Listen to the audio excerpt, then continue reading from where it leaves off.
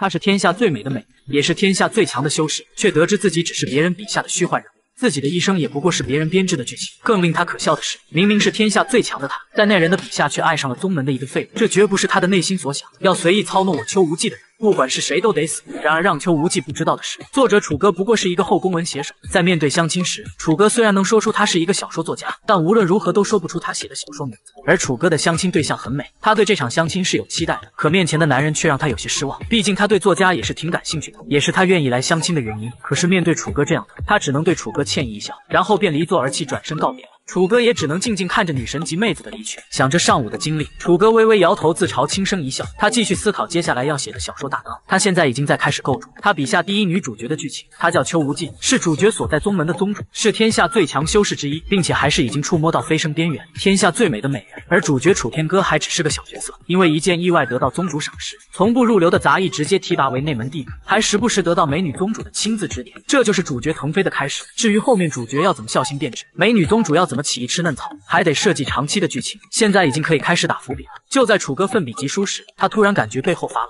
明明他窗户是关的呀！就在他纳闷发抖时，一柄森然长剑架在他的脖子上，楚歌人懵了。他的余光向后看去，只见一名绝美如仙子般的古装女子持剑，正美眸含煞的看着他，空气顿时仿佛安静了几秒。下一刻，楚歌就听见仙子一句一字的说：“你要敢写我喜欢上那个弟子，我拼着世界崩溃也要取你狗命。”楚歌闻言，人都傻了呀！他怔怔地看着眼前的女人，询问她是谁啊？可当他得知眼前的仙女是邱无忌时，他人又懵了。他感觉自己是不是幻听了？他的女主角怎么可能从书里跑出来？而且门也关得好好的，这是怎么进来的？就算是贼，那也说不通啊！哪个贼会跑进来叫他改书的？再说这女人也太漂亮了。本以为上午那个相亲妹子已经是他见到的最顶级的女神，没想到这还没过几个小时呢，这个认知就被眼前这位给打破了。但是她那装扮真的太吻合书中描写，要去哪找这样一个女人来跟他 cos 开玩笑啊？难道她真的从书里跑出来不成？可自己又不是什么仙人，怎么把书中世界变为真实呢？而邱无忌看了一眼楚歌的电脑，然后拎小鸡一样把楚歌拎离了椅子，自己鸠占鹊巢的坐了下去。楚歌见状，难不成邱无忌要自己写吗？女主亲自写自己的故事，这似乎有点刺激啊。然而没研究明白电脑怎么用的邱无忌，直接把自身的灵力注入到了电脑里，顿时笔记本电脑发出了诡异的电流声。被电的邱无忌只能傻傻收回手，而楚歌看着电脑有些慌了，他质问邱无忌：“不会是把灵力注入在解析这法宝构成吧？”邱无忌表示他面前的法宝是要怎么使用，他都感觉不到灵气流转，那么怎么把文字输入这经目之中呢？对此，楚歌让邱无忌起身，他重新坐回电脑前，让邱无忌想写什么，他来代笔。邱无忌不假思索地说：“写他顿悟飞升，打破天人之限，立地飞升成仙。”楚歌闻言表示不可能，因为这背离世界的设定。就比如写一个凡人突然飞升成仙帝，那必然不会成立。话语一落，长剑又架在了楚歌的脖子上。邱无忌质问楚歌：“在你的设定里，我不能飞升吗？”感受到似乎他说不，他人头能立马落地。楚歌连忙解释：“能飞是能飞，但不是现在。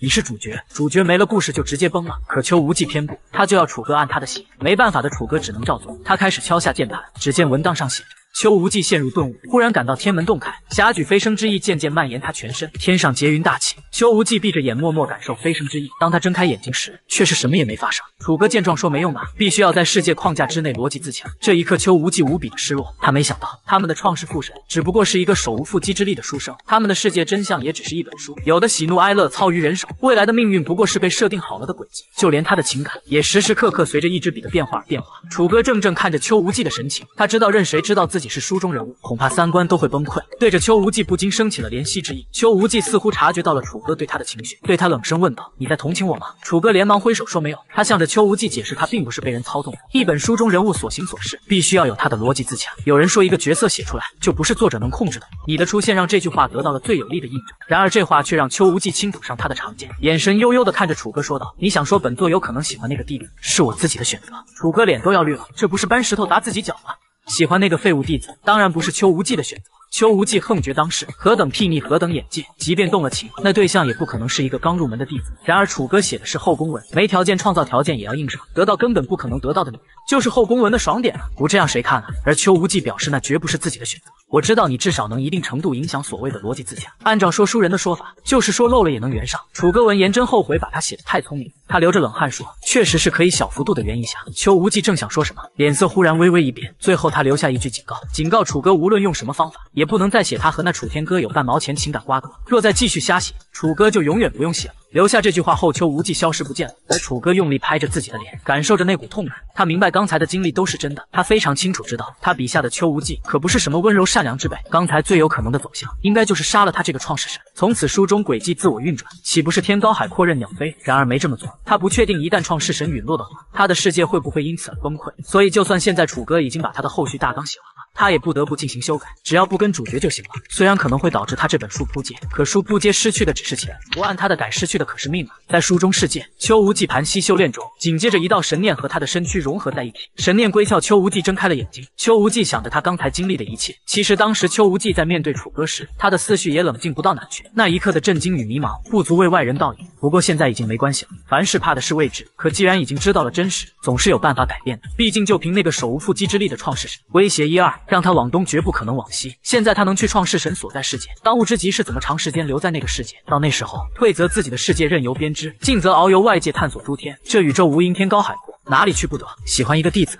真是笑话，那怎么可能是他的未来？也不可能会是他邱无忌的选择。真要找个男人的话，那也该是创世父神才对。这思维无缝衔接的过于丝滑，以至于邱无忌一时半会都没发现的不对。等他说出来时，才反应过来自己怎么可能会这么想。邱无忌心中顿时一动，不禁皱起了眉毛。他居然敢这么写，楚哥还真敢这么写。甚至楚哥做的梦，还是关于他的春梦。两人经历九九八十一难后，他永久留在了现实世界，和楚哥在一起了。如果有一天你的小说女主从书里跑出来了，你会怎么办？当然是立马打上补丁，写她会爱上创世父神，也就是自己。这么做的结果就是一把剑架在自己的脖子上，询问自己要怎么死。不过楚歌对于自己笔下邱无忌那是无比的了解，把剑架在他的脖子上就是不想杀他，不然都是直接砍了他。这让邱无忌都不禁生出一种，原来世界上最了解他的人，竟不是他自己。就算如此，邱无忌还是质问楚歌，为什么要写他找男人，也要找创世父神？楚歌只能强行解释着，不想和笔下的男主有关系，又要合理还能符合他人设，只能改成创世神。级别的，而且这么改，读者也能够接受，也符合逻辑。邱无忌却是冷冷的反问楚歌，他为什么要找男人？他根本就不会诞生这种想法。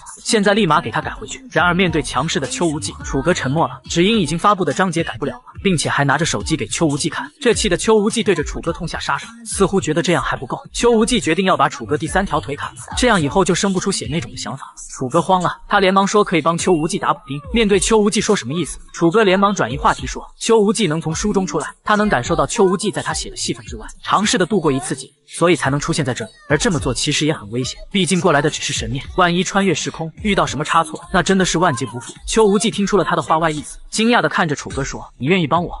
看着已经被转移注意力的邱无忌，楚歌连忙点头，然后立马打开电脑，在邱无忌能力设定下面写了起来。简单说就是，邱无忌没有飞升成功，却找到了去往别的位面的方法，可以神魂出游，安全的穿梭位面。邱无忌默默感受了一下，发现确实有效。这个男人真可以这样肆意往自己的身体里塞东西，那是不是说可以囚禁他，让他不断强化自己？可是楚歌忽然转头微微一笑，可是你毕生骄傲，原本明明是生死之间闯来，靠自己聪明引悟浴血奋斗而成的修行，变成想要靠人赐予，算是怎么回事？听到楚歌的话，邱无忌气羞羞的质问楚歌：“是他肚子里的蛔虫吗？还有这么说你不怕挨打吗？”楚歌反问：“为什么要打他呢？这 不是在帮他吗？本身邱无忌就是楚歌倾注所有幻想编织出来的女人，现在出现在他的面前，不再是冰冷冷文字，对于他来说是何等的惊喜。现在他唯一的想法就是帮助邱无忌挣脱书中世界，这也算是他的求道吧。”邱无忌叹了声气，他知道楚歌没说谎，确实他是有道之人。而楚歌看着邱无忌来了个自我介绍，毕竟两次见面，邱无忌都没问过他的名字。邱无忌看着楚歌伸来的手，他突然俏脸一鼓，然后就是对着楚歌一顿小拳拳，这就想摸他邱无忌了。登徒子，你以为我邱无忌是什么随便的人吗？楚歌摸着满头包的头，他下定决心要打一个握手礼仪的比。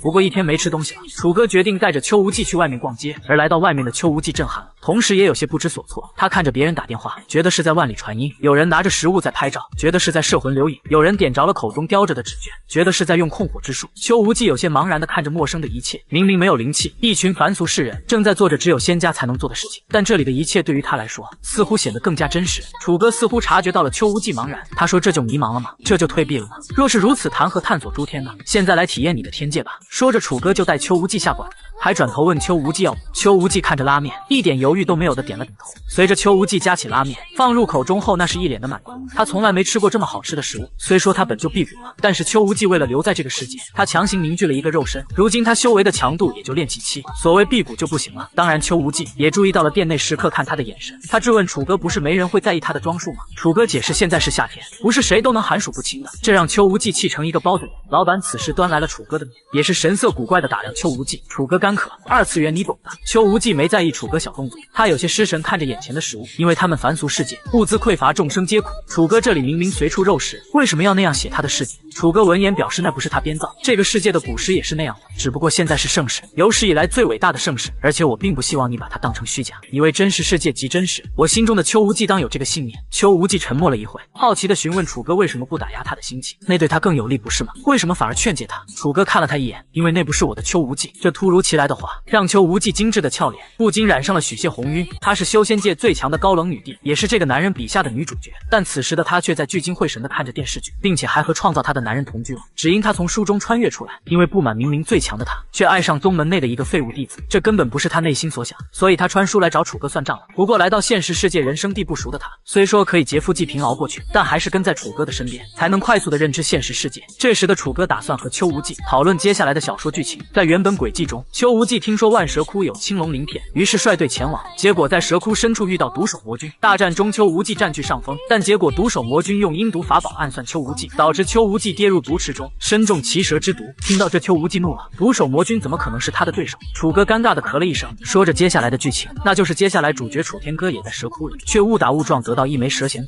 恰好是邱无忌的解药。邱无忌听不下去了，这是要写他种春药的烂俗故事吗？他用力扯着楚哥的衣领，似乎不给解释，立马就要揍人。楚哥连忙说不会写那种烂俗剧情，只是主角立了功，更入他法眼罢了。当然现在不可能这么写就对了，并且现在邱无忌也知道毒手魔君的剧情，如果还按照原来的写。邱无忌还会被偷袭吗？这也不禁让邱无忌思考了起来。知道了未来他真能改变吗？还是说天意不可挣脱呢？不过大致剧情还是按照原来的写，只是主角被摘除原来的轨迹，解药邱无忌自己能找到。而这也是为了测试邱无忌在知道剧情后到底能不能有所改变。而邱无忌看着楚哥删除了自己与主角的那点交集戏，目光越发柔和下来。看来他也没有那么让人讨厌。随后不再打扰楚哥，转身朝着客厅走去。只是此时的他有些疑惑，上次他还感知有其他人在，今天怎么感觉像是搬空了呢？原来楚哥的确有一个室友叫张其仁，他与楚哥一样是个扑街小说作家，他一边送着外卖，一边努力完成自己的白金作家梦。于是，终于有一本小说上架破了四百订阅，这让他放弃送外卖，破釜沉舟写这本小说。可是刚上架没多久，他就被人举报下架了。编辑给他一个月的期限修改，可是就算他修改完了，一个月后谁还记得他这本小说呀？他努力两年了呀！面对这个结果，他也只能选择放弃了。他的年龄已经不小了，是时候该进场面对生活了。实际上，楚哥也没好到哪里去，要不是邱无忌的出现，或许他也有可能选择放弃。时间来到晚上，楚哥也码字完了。他才想起家里还有个女主角，他转头去找，一眼看见门外厅中看着外边的邱无忌，他仙子般的身影不禁让他的心跳动了一下。楚哥来到他的身后询问他无聊吗？那可以找点事来做的。邱无忌平淡反问楚哥，他能做什么呢？他对现实世界什么都不知道，都需要有人讲解。万一再把什么东西弄坏了，你也不宽裕吧？这话像是一道利剑扎进楚哥的内心。楚哥尴尬的咳了一声，表示想要了解这个世界，可以看看史书，也可以来刷剧。邱无忌大脑过载了，史书他知道，刷剧又是什么东西？楚哥拿起遥控器打开电视，打算给邱无忌展示一下，结果一打开的画面却是两人在拥吻。邱无忌看傻了，紧接着浑身杀气涌动，要给他展示的就是这个。楚哥吓得冷汗直流，连忙换台，转到某神剧的炮火连天。听着大炮枪声，邱无忌有些紧张。楚哥表示这些都是演戏，这都是以前的法宝，现在的法宝可厉害太多了。他让邱无忌没事不要出去乱跑，毕竟要是邱无忌按他的世界观来，怕不是被当成行走的五十万直接抓起来。但邱无忌对电视剧不感兴趣，他要看史书。楚哥只能打开购物软件给邱无忌买书。邱无忌好奇的看他操作，询问：“这样就有人送书过来吗？是万里传念还是飞剑传书？”楚哥摇头说：“不是。”正想说什么时，而好奇的邱无忌也想追问楚哥，两人一时间对视在了一起，并且相互之间的距离无比的接近。这瞬间让两人扭过头去。邱无忌也不再追问刚才那股莫名的情绪。邱无忌迫切的想要让自己冷静下来，于是他以等书为由，决定在楚哥这里住下来。现在他就先回房间了。而邱无忌来到次卧盘，坐于床上，想让。自己有些躁动的内心平静下来。可是哪有那么容易？这是有生以来第一次和男生同居，对象还是自己的创师傅神。另一边的楚哥同样不平静，他想着隔壁就是邱无忌，是一个绝色大美女，他一头栽在了床上。这是楚哥有生以来第一次和女性同居，对象还是自己笔下的女主角，那种心中的燥热实在难以言表。女孩一身御姐打扮，在内衣店却蠢萌的缠上了一身绷带，只因她是书中古代修仙界穿越出来的。面对老板询问怎么穿了个小布条，女孩顿时有些害羞不知所措。一旁的男人却说来个地杯要蕾丝套款的。原来女孩在和男人同居后，由于楚哥没有和妹子同居的经验，早上并没有分配两人上厕所的时间，导致楚哥在厕所刷着手机，忽略了外面着急要上厕所的邱无忌，而且洗漱用品准备的并不充分。邱无忌看着只有一根牙刷，听着楚哥说要刷牙，这让他误以为楚哥要把他塞嘴里的东西来塞他嘴里，这让邱无忌怎么能够接受？对着楚哥就是来了一个过肩摔，楚哥人麻了，这不是他期待的同居生活呀。而邱无忌看着楚哥重重的冷哼了一声，然后用力的把厕所门关上。这时楚哥有些回神过来，想着刚才邱无忌的小动作，他不禁有些疑惑了：小仙女也是要上厕所的吗？只是能不能答应他？小仙女不能拉粑粑，不过还是先去给小仙女买洗漱用品吧。而当邱无忌从洗手间出来后，发现屋内不见楚哥的身影，这不禁让他愣了一下。是刚才他太过分，导致楚哥生气了吗？不久后楚哥回来了，他看到神情有些低落的邱无忌，这副模样还真不像叱咤修仙大陆的高冷女帝。而邱无忌也注意到了回来的楚哥，连忙起身，似乎想为刚才的事道歉。楚哥打断了他，示意自己买的早餐，让邱无忌先吃点，然后好好坐下来聊聊同居后的生活。首先来说，在生活中，两人应善意的互相尊重，可以不在意他这造物主的身份，但也不意味着揍他就是理所当然。道理其实邱无忌都知道，只是面对可以操控自己的男人，他就控制不住自己的情绪。不过面对自己的行为，邱无忌对着楚哥道歉，表示自己下次会注意的。楚哥点了点头，那么现在开始也要让邱无忌学会适应这个世界。看着邱无忌疑惑的俏脸，楚哥说，第一步就是要改变邱无忌的穿搭，毕竟现在邱无忌的装扮穿出去肯定是没什么问题，但是长久就不行了，必须要去买些现代的衣服。而邱无忌看着手机中的衣服，瞳孔巨震，他的世界观遭受到了冲击。只见手机界面不是 J.K. 就是兔女郎热裤等等一些装扮。要知道这种衣服魔门妖女也不会穿啊，但这并不是他的世界，可能在这个世界是正常的吧。不过邱无忌没有心安理得的接受楚哥的馈赠，他表示会把花在他身上的钱还给楚哥的。楚哥闻言示意他要怎么还呢？先说好拿储物戒指的东西出来典当，是不行的，他没有销货的渠道。再说你元神过来的，身上也没有储物戒指。对了，劫富济贫也不行，在这个世界是犯法的。如果你想街头卖艺，以你那高傲的性格，卖艺给人当猴看，到时候不发生点血案就算好的了。邱无忌气死了，楚哥难不成真是他肚子的蛔虫？怎么对他的想法一清二楚？楚哥倒是说可以像他一样写网文，到时再开一个账号就可以了。邱无忌听了疑惑，向楚哥询问：只要写了就有钱吗？楚哥闻言顿时沉默，他想的太简单了。邱无忌虽是修行天才，但不代表是编故事的天才，而且以他正统思维、不屑谎言性格。反而不适合编故事。如果给他补丁，让他变得会写小说，想想就奇怪。邱无忌也不需要楚哥再加强能力给他，他还真不信他邱无忌连赚钱都不会。楚哥笑着点头，他也会帮忙参谋参谋的。邱无忌定定的看着他。忽然微笑起来，轻声地说：“现在带我去买一套此事的衣服吧，算我借你的。”看着笑靥如花的邱无忌，楚哥的内心不争气的跳动了一下。很快，两人便去往了大商场。邱无忌还没开始买东西，就先被店员左右围了上来，而那一声声美女叫的他不禁茫然：这里人打招呼怎么都叫美女的呀？感觉好轻佻。不过看着周围布料都很少的衣服，邱无忌有些不知所措的该选什么。热情的售货员们给邱无忌挑了衣服，有清纯可爱的 J.K，有辣妹风的短裙，有优雅知性的连衣裙。在所有衣服中，邱无忌选择了御姐风的衣服，这个最起码看起来正紧一些。随着邱无忌开始换衣服。当邱无忌从更衣室出来时，楚哥真的被惊艳到了。想不到自己的仙侠女宗主跑出来穿一身 OL 装也能这么美。不止楚哥被惊艳到了，店员们也是一样。只是他们认真看向邱无忌时，却发现邱无忌怎么裹着小布条呢？便劝着邱无忌再买一套内衣吧，穿这个多不方便。然后又询问邱无忌他穿什么杯的。邱无忌顿时懵了，求助的看向楚哥，他不知道店员说的是什么东西。杯子家里不是有了吗？而楚哥轻咳了一声说：“来个地杯的吧，要蕾丝套装，质量一定要好。”售货员有些惊讶的看着楚哥，这个男朋友知道的挺清楚的吗？他这就去取货。而邱无忌对着自己下面也无比在意，他没有露腿的习惯，而且他看到别人腿是黑丝裹上的，询问楚哥能不能给他买一条。楚哥听了后眨了眨眼睛，还有这种好事吗？而穿上黑丝的邱无忌，他感觉自己更奇怪了，这东西穿了好像跟没穿没什么区别。至于楚哥，则看得一本满足，这买的太值了，大饱眼福啊！虽然接下来一个月他要吃泡面就是了。邱无忌也察觉到楚哥看他的眼神不太对，开始质问楚哥。楚哥表示他是正常欣赏呀，没什么不对劲的。你看街上是不是很多人这么穿？也就是他们没你漂亮罢了。那嫉妒的眼神恨不得把你吞了。邱无忌瞥了一眼楚哥，我看是你想把我吞了吧？邱无忌不禁夹了夹腿，底下那玩意儿还是让他觉得羞耻。不过不得不说，虽然看着怪怪的，但穿着很舒服，给自己的修仙女主角穿上巴黎世家是一种什么样的体验？明明刚才还是仙气飘飘的仙子，现在却是换上娃娃小短裙，加上巴黎世家以及那羞涩的小表情，谁看了不迷糊啊？不过楚哥还没欣赏多久，仿佛就有一盆凉水浇在他头上。只因邱无忌问他刚才店员说的女朋友是什么意思，看着邱无忌那极具压迫力的眼神，楚哥忽然在想，当他知道一切之后，自己会不会死？于是求生欲点满的楚哥开始舌灿莲花解释着，说什么是女性要好朋友之间的简称。邱无忌无语的叹了声气，就会瞎扯淡。聪明的他早就察觉出来，女朋友就是恋人的意思，但他也没怎么生气，所以懒得和楚哥较劲了。现在他获取了现代的服装，也算是迈出了融于世界的第一步。楚哥微微点头，至少出门不会被人当猴看了。邱无忌便问：“第二步呢？是要获取这个世界的身份吗？”楚哥尬住了，获取身份这个可不容易，他只能找朋友问问了。现在楚哥打开电视，让邱无忌多了解一些现代信息。于是邱无忌从电视中得知了他们所在的城市、旅行时出行的交通工具、无聊时消遣的游戏，甚至连老公老婆这种称呼的意思也都明白了。这时邱无忌双眼放光，只因他看看到电视中的草莓蛋糕似乎很好吃的样子。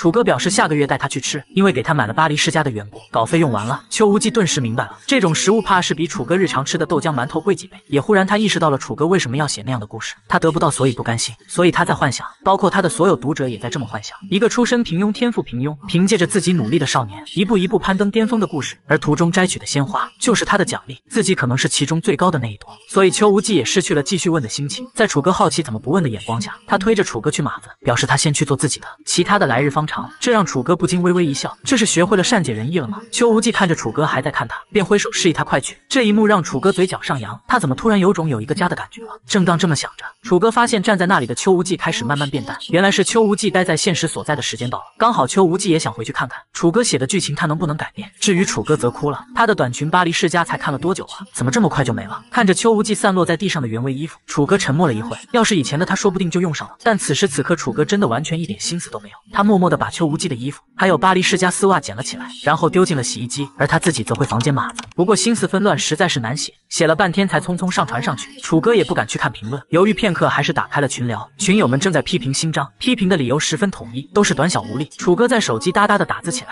大致意思是他修改大纲，先将就一下。群友看到楚哥冒泡，除了问秋无忌什么时候推，竟还说楚哥越写越好了，这不禁让楚哥疑惑了。他明明是随便应付的呀，原来他们是觉得楚哥写的更细腻了。那些微表情、服装细节，可都是以前楚哥不擅长的。楚哥没说什么，发了一个溜。了的表情包，只是被人夸了的感觉真好。另一边书中世界，秋无忌从密室中睁开眼睛，这宛若隔世的一幕，感觉像是做梦一样。很快，邱无忌来到宗门大殿，他也得到了万蛇窟中青龙鳞片的信息，这完全跟楚哥写的一样，只不过在原文中写他是平淡的说，他偏不，他要面带微笑，并且让人把发现线索的楚天歌带来。楚天歌被喊了过来，尊敬的对邱无忌行了一礼。行礼的时候，楚天歌冷汗直流，他怎么感觉宗主盯着自己的目光里有杀气啊？而邱无忌的目光确实已经从杀机变成了想笑，他发现这个楚天歌和楚哥长得。有点像，感觉像是他的小号似的，或者说是儿子。这么说来，楚哥算不算是在和自己儿子抢女人呢？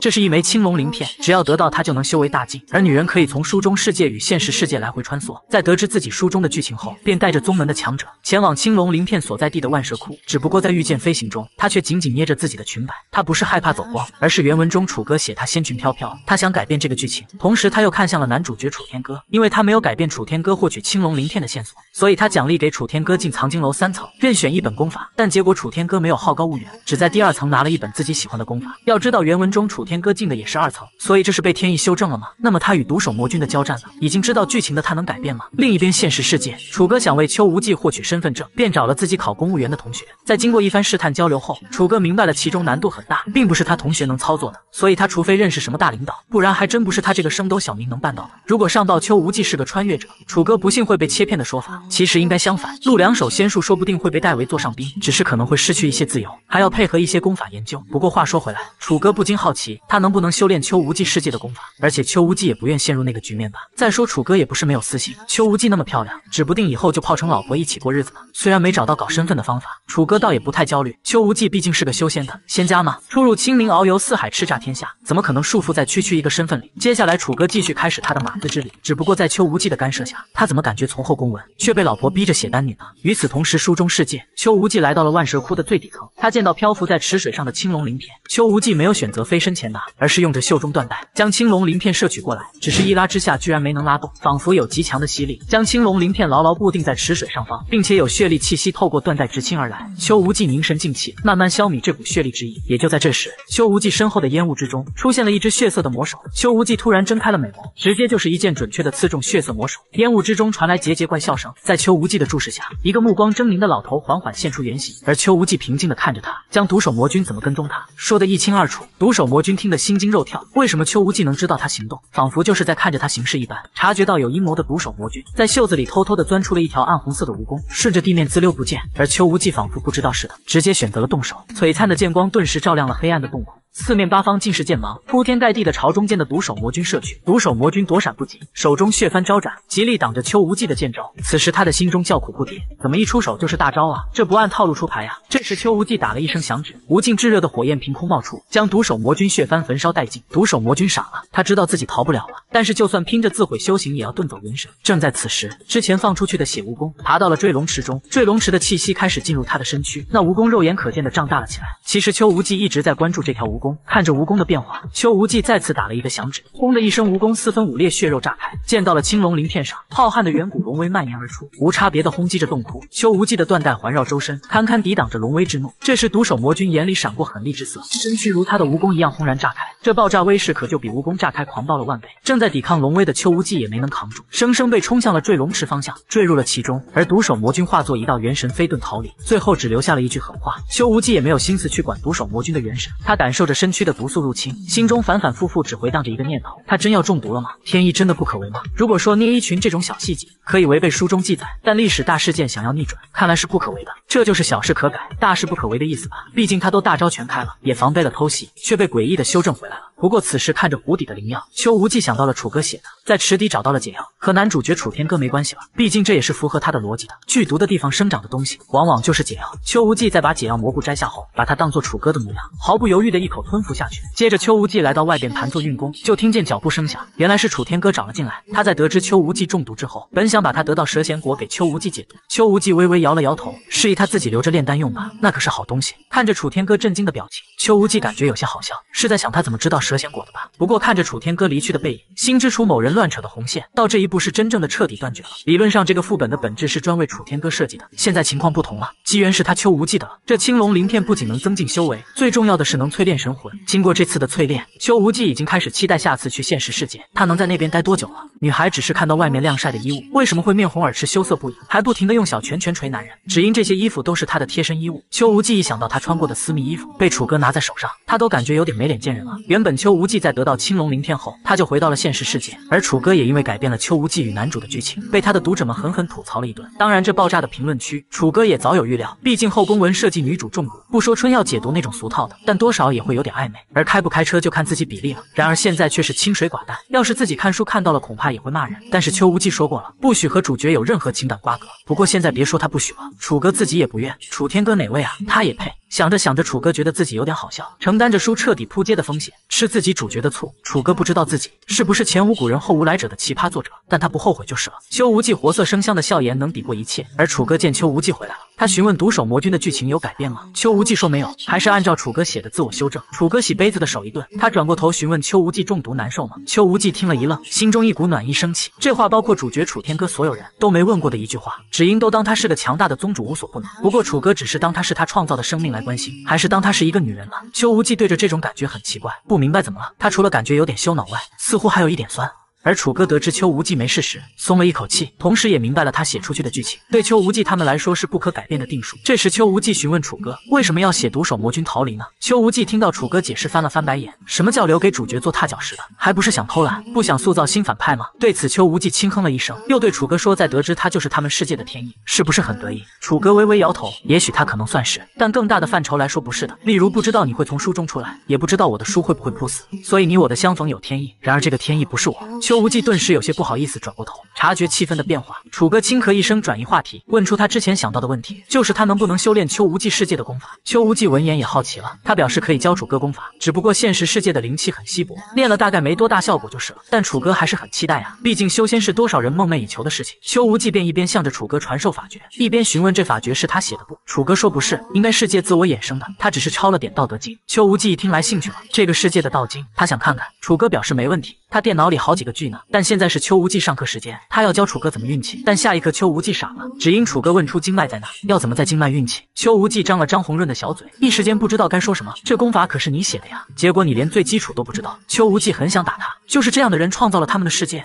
气羞羞的邱无忌转头哼了一声，忽然他看到了什么，不禁瞪大了双眼。只见他之前的衣服被晾在了外面，那皱巴巴的丝袜飘啊飘的，感觉就像被人在手里揉过一样。顿时，邱无忌化作了蒸汽机，红晕爬满了他的整个脸颊。想着楚哥不知道会对他衣服做过什么，转身就是对着楚哥来了一顿小拳拳的胖揍。当然没有用多大力气，楚哥并没有感到多大的疼痛，甚至还能闻到邱无忌身上传来的清香。而邱无忌知道楚哥可能只是帮他洗衣服。最后，邱无忌憋了老半天，嘴唇蠕动了好一阵子，才憋出一句话来，让楚哥以后不用帮他洗衣服，他自己来。被揍的。楚歌先是有点疑惑，然后看到那皱巴巴的丝袜后，他脸黑了。他可真的什么都没干了。看着羞恼不已的邱无忌，楚哥真的怕邱无忌给他来个狠的。在邱无忌转头看向他时，楚哥立马站直，一句话不敢说。邱无忌倒是没有再揍他的想法了。孤男寡女一起生活，这些应该是免不了的。不过他也决定了，以后这种衣物他自己用灵气幻化就行，这样也可以让楚哥少点买衣服的钱。楚哥却不答应了，他振振有词的表示要融入现代生活，就要融入彻底一些。况且他稿费到账了，没那么窘迫的。邱无忌忍不住冷笑起来，说楚哥是想要有衣服的食物。才好做点什么吧。楚哥顿时暴跳如雷的大喊：“他才不是什么变态！男人为了让一万岁的女孩穿上情侣装，竟然忽悠她说同居的人穿一样的衣服是理所当然的。”邱无忌在从修仙世界回来后，看着楚哥把他的黑丝洗得皱巴巴的，他很不满的看向楚哥。既然楚哥要他有真实感，便让楚哥再去给他买一条黑丝，然后自己先幻化了一条巴黎世家的丝袜，把自己白嫩嫩的大长腿包裹住。楚哥则美美的看着那黑丝长腿，心里想着是不是该再买一套白丝来给邱无忌穿。不过由于楚哥要学习修仙功法，邱无忌觉得先把楚哥教会了再说，同时冷冷看着楚哥，让他好好听讲，要敢分心，小心挨揍。楚哥委屈巴巴听着邱无忌解说，想要摆个五星向天的造型，但似乎有点困难。邱无忌见状，上前打量了一阵，伸手掰正了他的姿势，调整了一下楚哥的手脚。不过由于两人过于接近，楚哥看到了一些不该看的，以及邱无忌身上传来的体香，这让他一阵一马心猿。而结果就是他脑袋上挨了个暴力。邱无忌冷笑的质问他在想什么呢？楚哥哭笑不得，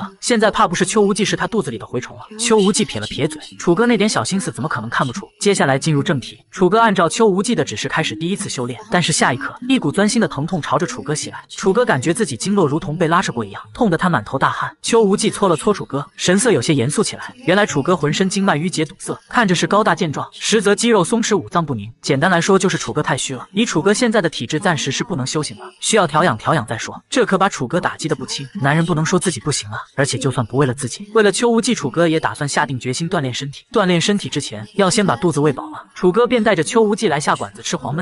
邱无忌一边吃着一边提醒：“从今天开始，楚哥的饮食作息要恢复正常，不能一天只吃一顿饭，晚上也不能熬夜，太伤肝了。”楚哥有些不情愿。邱无忌见状，表示等楚哥成为修仙者了，那想怎么熬夜就能怎么熬夜了。楚哥觉得有道理，又试探着问邱无忌：“现在是不是应该叫他师傅了？”邱无忌闻言露出一丝微笑：“那我是不是该叫你父神了？”楚哥一脸激动之色，还说这感情好，各叫各的。下一刻，楚哥就不好了，被邱无忌暴揍了一顿。邱无忌一边收回拿来揍楚哥的高跟鞋，一边发出疑问：“据他所认知，在家里做饭显然比外边更便宜干净。”为什么还要天天下馆子呢？楚歌打了一个嗝，回应了邱无忌一个自然。而楚歌这时忽然来了兴致，询问邱无忌会做饭吗？他没有写过邱无忌之前的人生历程，结果因为楚歌设想过，邱无忌还真会做饭。只是邱无忌哼了一声，就算会，为什么要做给楚歌吃呢？然而下一句楚歌的话，让邱无忌不得不承认，他还真必须要做饭给楚歌吃。只因楚歌说了两个字，那就是房租。被秒杀的邱无忌立马就打算去买柴米油盐，楚歌连忙跟上，带着邱无忌来到大商场。他不仅要买生活调料，黑丝白丝才是主要的目的。这时邱无忌注意到了旁边的衣服，楚歌见状询问邱无忌想要吗？可以买一套的。而没有情侣装概念的邱无忌，他看着两套一模一样的男女睡衣，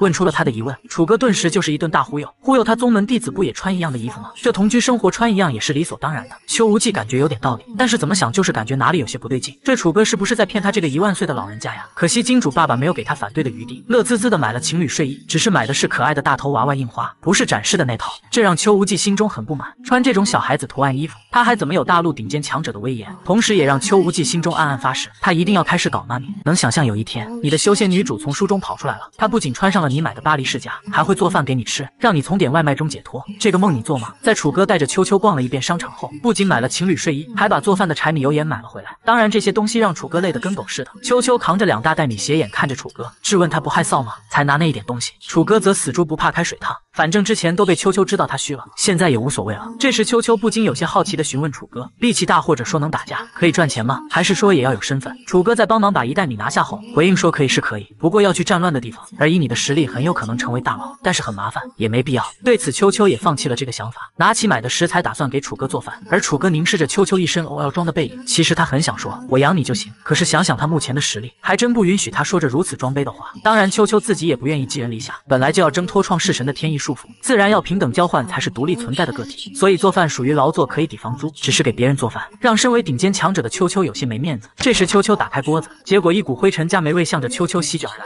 秋秋咳嗽之余，询问楚哥厨房到底多久没用了。楚哥闻言多少有些不好意思，但还是说有两年半了。然后就火速逃离这个狗看了都摇摇头的厨房。秋秋对此那是又好气又好笑。这个创世神似乎傻得可爱。然后秋秋一挥手，白光闪过，整个厨房骤然光洁如新。他一个修仙的清洁厨房，那不是简简单单。而外面楚哥打电话喊人。送液化气，一边看向厨房，光洁如新的厨房让他微微一愣，随即就就明白怎么回事了。秋秋听到楚哥说话，有些好奇，转头问他在跟谁通话。楚哥表示让人送液化气过来。秋秋闻言微微俯下身子，斜眼看着他，那你为什么说一半就卡壳了？因为我在看你啊。秋秋顿时露出了想打人的表情。楚哥立马一溜烟跑了。秋秋对此轻哼了一声，来到客厅的楚哥，他看着自己的手机，眉头紧皱。秋秋这时探头看了他一眼，询问他怎么了。楚哥表示他的评论区对骂了起来。秋秋疑惑了，他有些不明白为什么会有人因为其他人的书吵起来。楚哥给秋秋解释，就像他的世界修道一样，每个人对道的理解不同，从而产生的争执。秋秋虽然对把小说和道混为一谈感到难以接受，不过道理还是听明白了，心中只有一个感受：这世界的人真闲。楚哥出神的看着书评区，他现在真的很奇怪，明明他的书也没有多火，现在怎么这么多人涌进评论区呢？没有第三方引流，就写了个中毒自救，怎么这么多人撕起来了呢？这不应该呀！而秋秋见状，感觉是自己对楚哥造成了大困扰，有些担忧的询问楚哥：这对他来说是不是坏事？楚哥起身摇了摇头，这对他来说可是好事，有评论。就会有流量，就会吸引新的读者，所以这件事来说，总体是好的，并对秋秋表示别担心了。他的历史书到了。秋秋看着楚哥递给他的历史书，看着封面上的上下五千年，他不禁开口说道：“你们这文明真年轻啊，还没有他的岁数大呢。”楚哥轻轻拍了拍秋秋小脑袋，好了，知道你是个老太太了。而被反拍回去的楚哥捂着疼痛的手，让秋秋不用较真。亿万年岁月其实就是他们瞎扯的，毕竟修仙嘛，怎么夸大怎么来。秋秋不可置否的哦了一声，然后端坐在一旁的窗台上，开始认真阅读起这个世界的历史变迁。而楚哥怔怔的看着秋秋脱口而出。我码字，你读书，此景可入画。就在楚哥觉得自己装了个大的很有意境时，然而下一刻意境轰然破碎，只因门铃响了，从外传来大喊声：“来送液化气的。”秋秋看着楚哥哑然失笑。而城市的另一端，楚哥的好朋友张其仁，曾经和楚哥一样的扑街作者，此时的他正在一座高楼大厦上眺望远方，手里手机上的界面正是楚哥的评论区，他的嘴里还呢喃着：“兄弟，我只能帮你到这里了。”女孩是修仙界的仙女，但现在竟然考虑自己要不要洗澡。此时的楚哥正在屋内潜心码字中，楚哥偶尔的喝水，导致秋秋目光不禁会看向。他心中也会闪过一些念头，比如楚哥他在工作，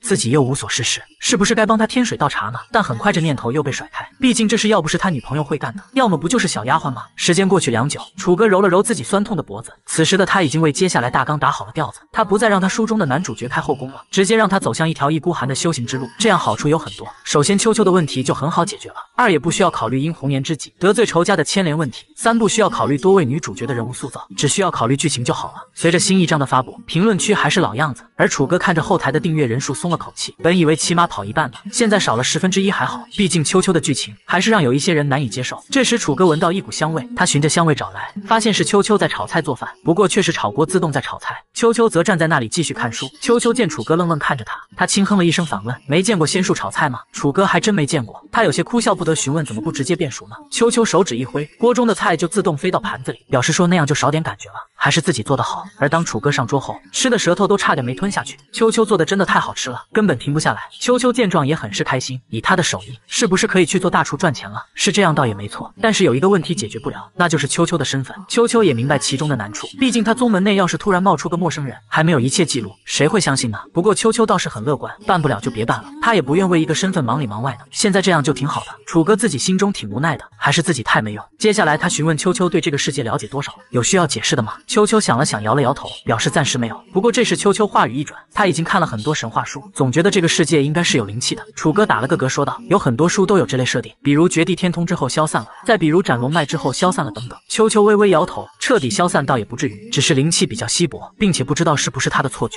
总觉得这次过来感受到的灵气比他上一次过来更多了一些，但量过于稀薄，无法准确的确认。楚哥闻言抬起头来，眼里也有些严肃。难不成这个世界灵气复苏了？这会是秋秋从书里出来的原因吗？如果真的灵气复苏，这世界的特殊状况或许不止自己一个，那他也不能一直天天龟缩在家里码字了，比如去参加什么作者聚会等等，指不定就能意外得知什么超现实的状况。只是问题来了，他是一个社恐啊，交际什么的真的不擅长。不过楚哥看着秋秋做出一些改变，又算得了什么呢？只是用仙术洗碗真的好方便啊。而楚哥也为自己立下了第一个改变，那就是锻炼身体。然而没多久，楚哥就累成狗了。秋秋穿着一身天蓝色运动服，不满地看着楚哥，用他在网上新学来的词说楚哥是细狗吗？这才几圈啊，最起码再跑个五十圈才行。楚哥不行了，他去做引体向上，结果秋秋看了，顿时一顿阴阳怪气，怎么只有引体没有向上的？之后楚哥回到了家，开始吭哧吭哧的做起了俯卧撑。秋秋越看越觉着这姿势很奇怪，询问楚哥是什么奇怪修炼姿势，而楚哥没做三分钟就趴地上了。秋秋的目光再度变得怪异，这就是您的半小时吗？楚哥脸上再也挂不住一蹦而起，嚷嚷着，一直看着他干什么呀？去看你的书啊！秋秋闻言顿时拿起书切了一声。至于锻炼不下去的楚哥，准备去洗个澡，询问秋秋要不要洗洗。秋秋淡淡表示他会洁身之术，不需要。楚哥也不在意，只是说了一句不自己洗，总感觉没洗过一样。很快的浴室里面传来哗哗的水声，秋秋翻书频率不由加快起来，脸上不禁鼓起了小脸。所以说男女同居就是麻烦了，这种只隔着一扇门，一个男人赤条条在里面洗澡的感觉，让人心根本平静不下来。秋秋只能强迫自己不要去注意，但是楚哥最后那句话倒是影响到了他。秋秋看了看自己，虽然会洁身之术，但身为女人的她也是会有泡澡的欲望的，所以楚哥最后的话多半就是故意的。他能不知道自己的习性？我看他就是想体验一下隔门有个女人在洗澡是什么感受吧。自以为猜对的秋秋愤然离坐回自己的次卧，他才不让楚哥得逞呢。只是他刚进门就愣住了，只见床上的床单、枕头、被子已经铺得整整齐齐，并且还隐隐散发着清香。这是楚哥还没等他从书中世界回来就买好的吗？他是有多期待自己和他住啊？而秋秋摸了摸床上的小猪抱枕，心意领了。可是他真不需要睡觉啊！事实证明，不管是凡人还是仙女，只要是女人，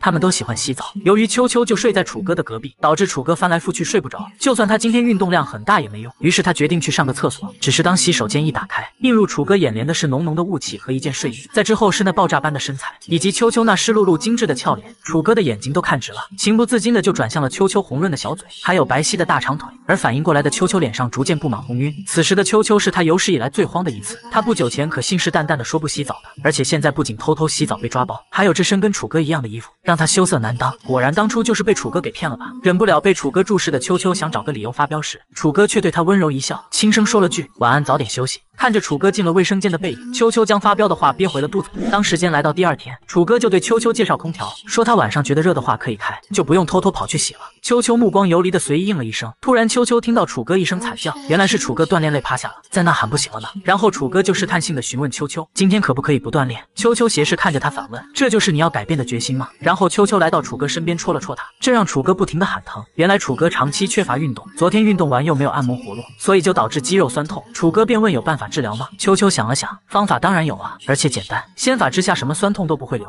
一想到这事，秋秋眼神像看着虫子一样看着楚哥，质问他为什么他的仙术什么都能隔空生效，唯独疗伤不能，能不能给他个解释？楚哥眼神顿时飘忽起来，这种事情还用解释吗？君不见电视里男主角给男人疗伤都可以隔着衣服，给女性疗伤就必须脱吗？他作为后宫文写手，肯定也要向这些靠起，是不是？秋秋看他那德性就知道什么情况，肯定不是什么好设定。然后对着仍在歪歪的楚哥，让他去改一个补丁。楚哥当然不乐意，以这种疗伤方式打不了补丁，拒绝了。秋秋闻言冷冷看着楚哥，表示是不是需要疗伤就必须触碰他？楚哥刚想说是，秋秋气得扭头就走，要疗伤自己疗去吧，痛死得了。楚哥当然不想放过这个好机会，他舔着脸说他的理由，说什么是为了搞清楚秋秋穿越的秘密，这样酸痛持续几天，岂不是浪费时间？秋秋直接就是一脚把楚哥踹飞，让他滚。真的当他那么好忽悠的吗？躺在地上的楚哥无奈了，果然一万岁的老奶奶就是不好骗啊。秋秋则轻哼了一声，然后他看向了楚哥放在沙发边上的睡衣，暗示术法把他胸前的娃娃图案改成了哭脸。秋秋看得噗的一声，差点没笑出来，同时也有些满意，这样和他的就不一样了，也顺眼多了。而他又看了一眼锻炼的楚哥，秋秋觉得他是不是应该多了解一些这个世界的医学知识呢？不然好像会错过不少风景。修仙者性情恬淡，熬得住。他始终没有太过热切的想要出去了解更多的念头，反而是楚哥对此更在意些，觉得他了解太慢了，始终局限义乌。可是秋秋自己不这么认为，他觉得义乌之中的风景尚未尽览，谈何一世呢？而且他寿命漫长，可以慢慢去了解，说不定几十年后看着白发苍苍的楚哥也别有乐趣。可是秋秋想着想着就有些皱眉了，他觉得楚哥要是老死。好像不太好，于是秋秋用力一巴掌拍在楚歌背上，让他不要偷懒，必须让楚歌早点休息。至于他心中其他的一些情绪，秋秋只当自己觉得是因为创世父神不能死，所以楚歌痛苦的好日子开始了。在现代世界，竟然出现新的修仙者。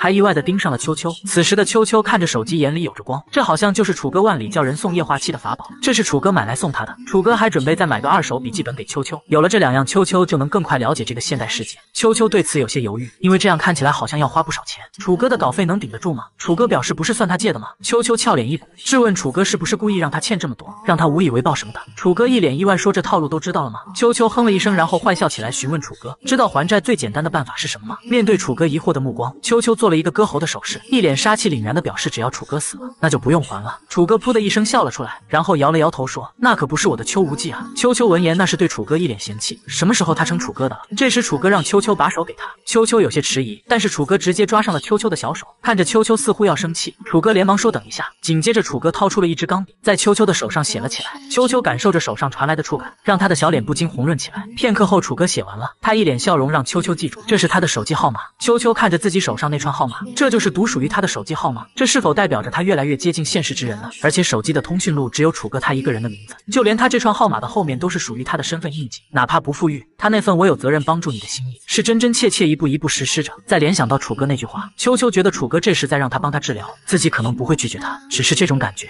让秋秋忽然想回到书中世界去。他不明白这感觉是什么，只不过让他觉得很不好。秋秋看了楚哥一眼，自己要主动回去吗？他好像也没有什么必要跑吧，帮他多做点好吃的算了。而楚哥见秋秋要出去买菜，他便教秋秋怎么用。支付软件，秋秋也穿上了新买的现代衣服。这时楚哥让秋秋给支付软件取个 ID，怕秋秋不明白，楚哥给他解释是绰号的意思。秋秋便输入了“水随天去”秋无忌这个名字。秋秋不知道是不是连自己的谥号都属于天意名义。如果按照楚歌原有想法，水是他，天可能是指楚天歌，于是水随天去。不过现在也一样，楚歌现在就是他世界的天，那么意思不也一样吗？秋秋转头看了一眼楚歌，看到楚歌那高兴的样子。秋秋觉得他没有想到那层，只是纯粹高兴他还是沿用了他给的东西。对此，秋秋也不想了，反正他就是秋无忌，改不改又如何？然后询问这个世界哪里有食谱卖，带他先去买。楚哥指了指秋秋手中的手机，表示食谱不用买，直接拿手机查就好了。秋秋有些疑惑的拿起手机，这么方便的吗？楚哥笑了笑，所以说电脑和手机这两件东西才是此事最重要的法宝。当你玩熟了，你就是现代人了。秋秋便让楚哥教他。与此同时，小区外面，一个身穿卫衣的不知名男人来到楚哥楼下，他竟然缓缓的融入了墙里，而屋内的楚哥正在。码子中，他正考虑秋秋和男主楚天歌的剧情，既然不让他们接触了，楚哥考虑写双主角的剧情。为了不让这感觉太凸显，楚哥琢磨着是不是要多写点别人的独立戏份。但这时编辑信息弹出，楚哥心中一个咯噔，这个时候来找他，不会是遭遇和张其人一样的事了吧？让他小说腰斩吧？然而结果并不是，原来是楚哥字数差不多了，编辑给楚哥申请了封推，也成功通过了，让楚哥这些天多写些存稿。楚哥又是惊喜又是纳闷，他没想到放飞自我的写后竟然可以上推荐。这时又有新的信息弹出，是他好哥们张其人来询问。他怎么不在评论区互动，跟个无情马子机器人似的？楚哥对此回他也不是没冒泡吗？而下一刻两人都说自己在忙，张其人顿时阴阳怪气气楚哥，说他是忙着谈恋爱吧？他可是看到一个漂亮女人跟楚哥逛街，楚哥有点麻。张其人是怎么发现的？他和秋秋都没出去几次啊？难道张其人也在附近工作吗？于是楚哥便问出了他这个问题。张其人回应他当了保安，前两天还追贼呢，只不过让他跑了。然后意外看见了楚哥，并提醒楚哥小心点。楚哥有些皱眉，他家附近竟然有贼。不过这时秋秋喊他吃饭了，楚哥也没过多在意。秋秋看着楚哥笑。眯眯的询问他怎么了，楚哥则一脸神气的表示他今天遇到了好事，可以理解为他也被宗门赏赐进入藏经楼，能转化多少修行还要看自己。秋秋顿时就理解了，那也确实是个大好事，不由得说主角的待遇进到了楚哥身上了。楚哥笑着看着秋秋也不说话，秋秋怔了怔，然后笑容迅速消失，他一脸杀气腾腾的看着楚哥，他本人是不是就属于主角的待遇？然后到了他楚哥身上，楚哥连忙往口中扒饭，求生欲点满的说，也许是女主角的出现把运气带到了我身边。秋秋哼了一声，不再计较，开始干饭。不久之后，秋秋放。下碗筷，他表示要借午时的阳气修行一回，无事不要打扰他。在这万籁俱寂的午后，秋秋盘腿在自己的房间中修炼。只是这时他身后墙上渐渐显出了一个人影，人影渐渐的越来越凝实，竟从墙壁上直接走了出来。这似乎是穿墙术。黑衣人目光转动，立马就看到了修炼的秋秋，他的眼睛直接就发直了，看着看着口水都快流出来了。这也太美了，继而就是一阵狂喜。他好像走错了房间，但也不亏啊。就在他的手伸向秋秋时，秋秋冷冷的睁开了美眸，立马转身看去。这一刻宛若虚实生变，男子仿佛坠入雷击，他动不了也喊不出，无法再呼吸，如坠地狱。这个世界真的灵气复苏了吗？只因这个男人使用穿墙术，还盯上了秋秋。秋秋一个冷哼，就将那个人定在原地。此时楚哥突然出现在男子的身后，拿着扫帚恶狠狠地拍在他后脑上。随即楚哥紧张地看向秋秋，询问他没事吧？秋秋一脚踩着那名男子，一脸轻松写意地反问楚哥问谁呢？楚哥看着晕过去的小贼，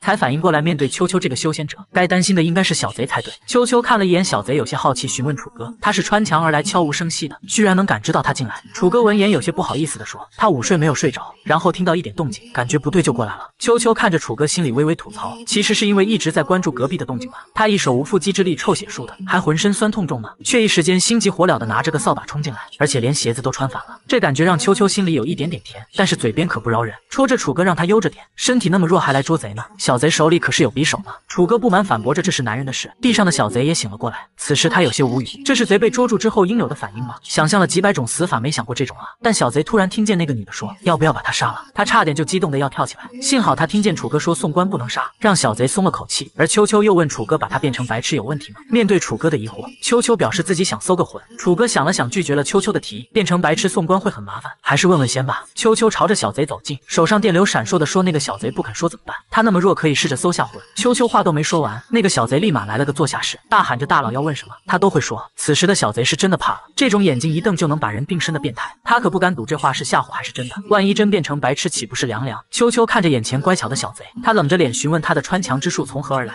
小贼有些傻了，就问他这个呀？难道不问他为什么跑到这来吗？见他迟疑，秋秋的眼神越发的冷冽。小贼被盯着，冷汗直流的大喊。说是自己觉醒的天赋异能，很多人都是。听到这话，秋秋和楚哥对视了一眼，很多人都是，那就是说真的是灵气复苏或者异能觉醒吗？楚哥便问他很多人是多少，他都快活了三十年，怎么不知道？小贼回应很少很少，一般人是不知道的，但终究特殊嘛，慢慢总总会有点事情关联上的。然后开始各自有点圈子。楚哥再度和秋秋对视一眼，然后打量了一下小贼，表示你有了穿墙异能就用来做小偷吗？你的圈子挺高端哈。小贼看了一眼自己，原来自己打扮的像小偷吗？早知道换一身了。但这时秋秋手上再次亮起电芒，小贼吓得立马说自己是。来找一个敌人的，只知道他在这区域内，不知道具体。所以一户一户找楚哥，这时立马反驳小贼，表示他在说谎，这让秋秋凝聚了一只虚空巴掌，直接就是抽了下去。而秋秋也有些好奇，楚哥怎么知道在撒谎？楚哥这时冷笑道：“谁会大中午的一户一户找？又不是谁都有午睡习惯。你是确定了对方在家或者不在家，所以目标显然是明确的，而不可能是广撒网。”听到楚哥这么说，秋秋的虚空巴掌又大力抽了下去。楚哥在一旁看着被暴打的小贼，他不知怎么的流下冷汗。这母暴龙太暴力了呀！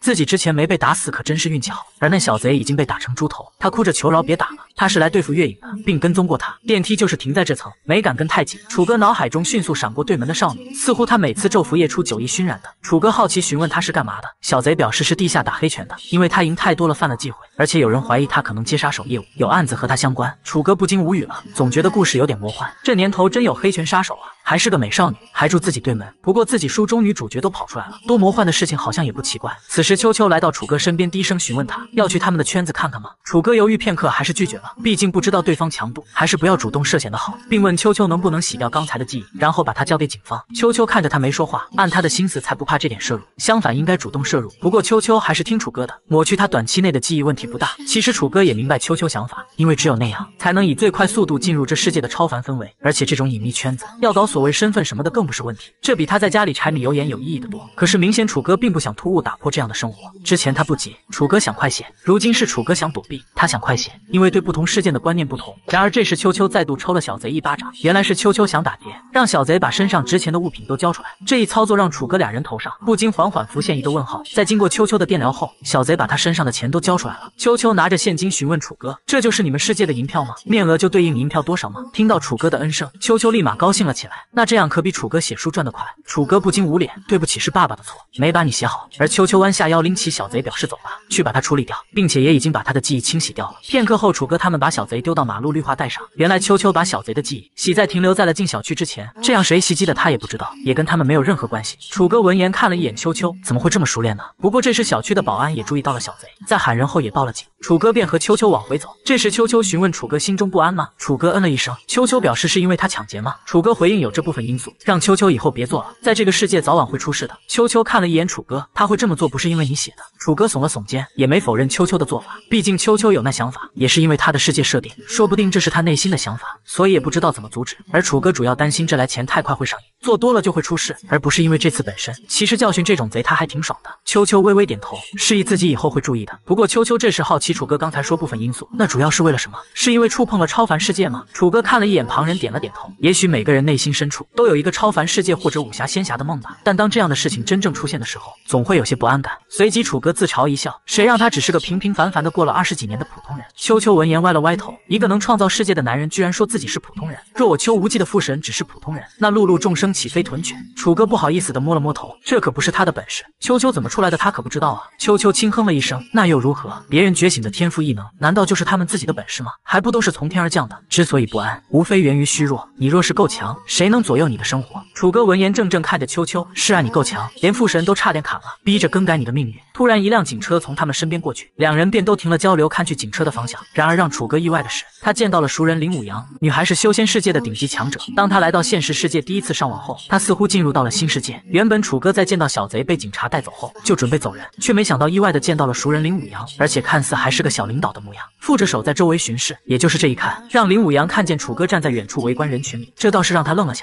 于是他朝着楚哥挑了挑眉，示意跟着他来。至于秋秋，就留在原地，并没有上前。林武阳有些好奇，询问楚哥住在这吗？楚哥表示没有，隔着几条街呢，只是路过看个热闹。而楚哥也好奇的询问林武阳调岗了吗？毕竟原来的他考公考的是文职，现在居然能出警。林武阳回了句差不多，没说太细，然后打量起楚哥，问他最近有没有见到奇怪的事情，或者生面孔出入。楚哥闻言没好气的反问他，他连一栋楼的人都不认识，别提两条街外了。而且这年头问其他人也不是一样。在说话间，有警察匆匆过来说道：“林科监控看了。”林武阳便对楚哥表示有空聊，现在正式来了。楚哥挥手跟林武阳告别，示意他升科长了，下次记得请吃饭。而那名警察张望了一下附近没人，对着林武阳汇报说：“那个小贼是突然出现的，前后连个鬼影都没有。”林武阳闻言点了点头，示意自己知道了。沉思了一会，便通知他们收队吧。他们暗中捉穿强人这么久都没线索，没想到意外在这儿。顺着这条线，顾社长那边的材料也差不多可以交差了。那名警察询问林武阳：“把小贼丢在这的人怎么办？”林武阳摇了摇头，表示回去审讯再说。若是狗咬狗最好，便是真有其他未知异能者。这番操作也像是给警方卖人情似的，毕竟人家说不定是想过好自己的日子，还是不要胡乱干涉的好。咱们必须保护公民的隐私和正当权益，多探听无益。而楚哥静静看着警车的离去，突然他余光看到一道人影，当他转过头看去时，那道身影已经消失不见。楚哥虽疑惑，但也没多在意，只因他听到秋秋说，刚才那个捕头和属下说，如果有异能者要正常过日子，要保护你们这国度人情味可以啊。楚哥自得一笑，似乎为自己祖国被认可感到骄傲，并补充这做法是以人为本，也对之前担忧的事情都被这句话消弭了一大半。想想想也对，大部分异能者也未必就是危险性质的，要是习惯于安逸的生活，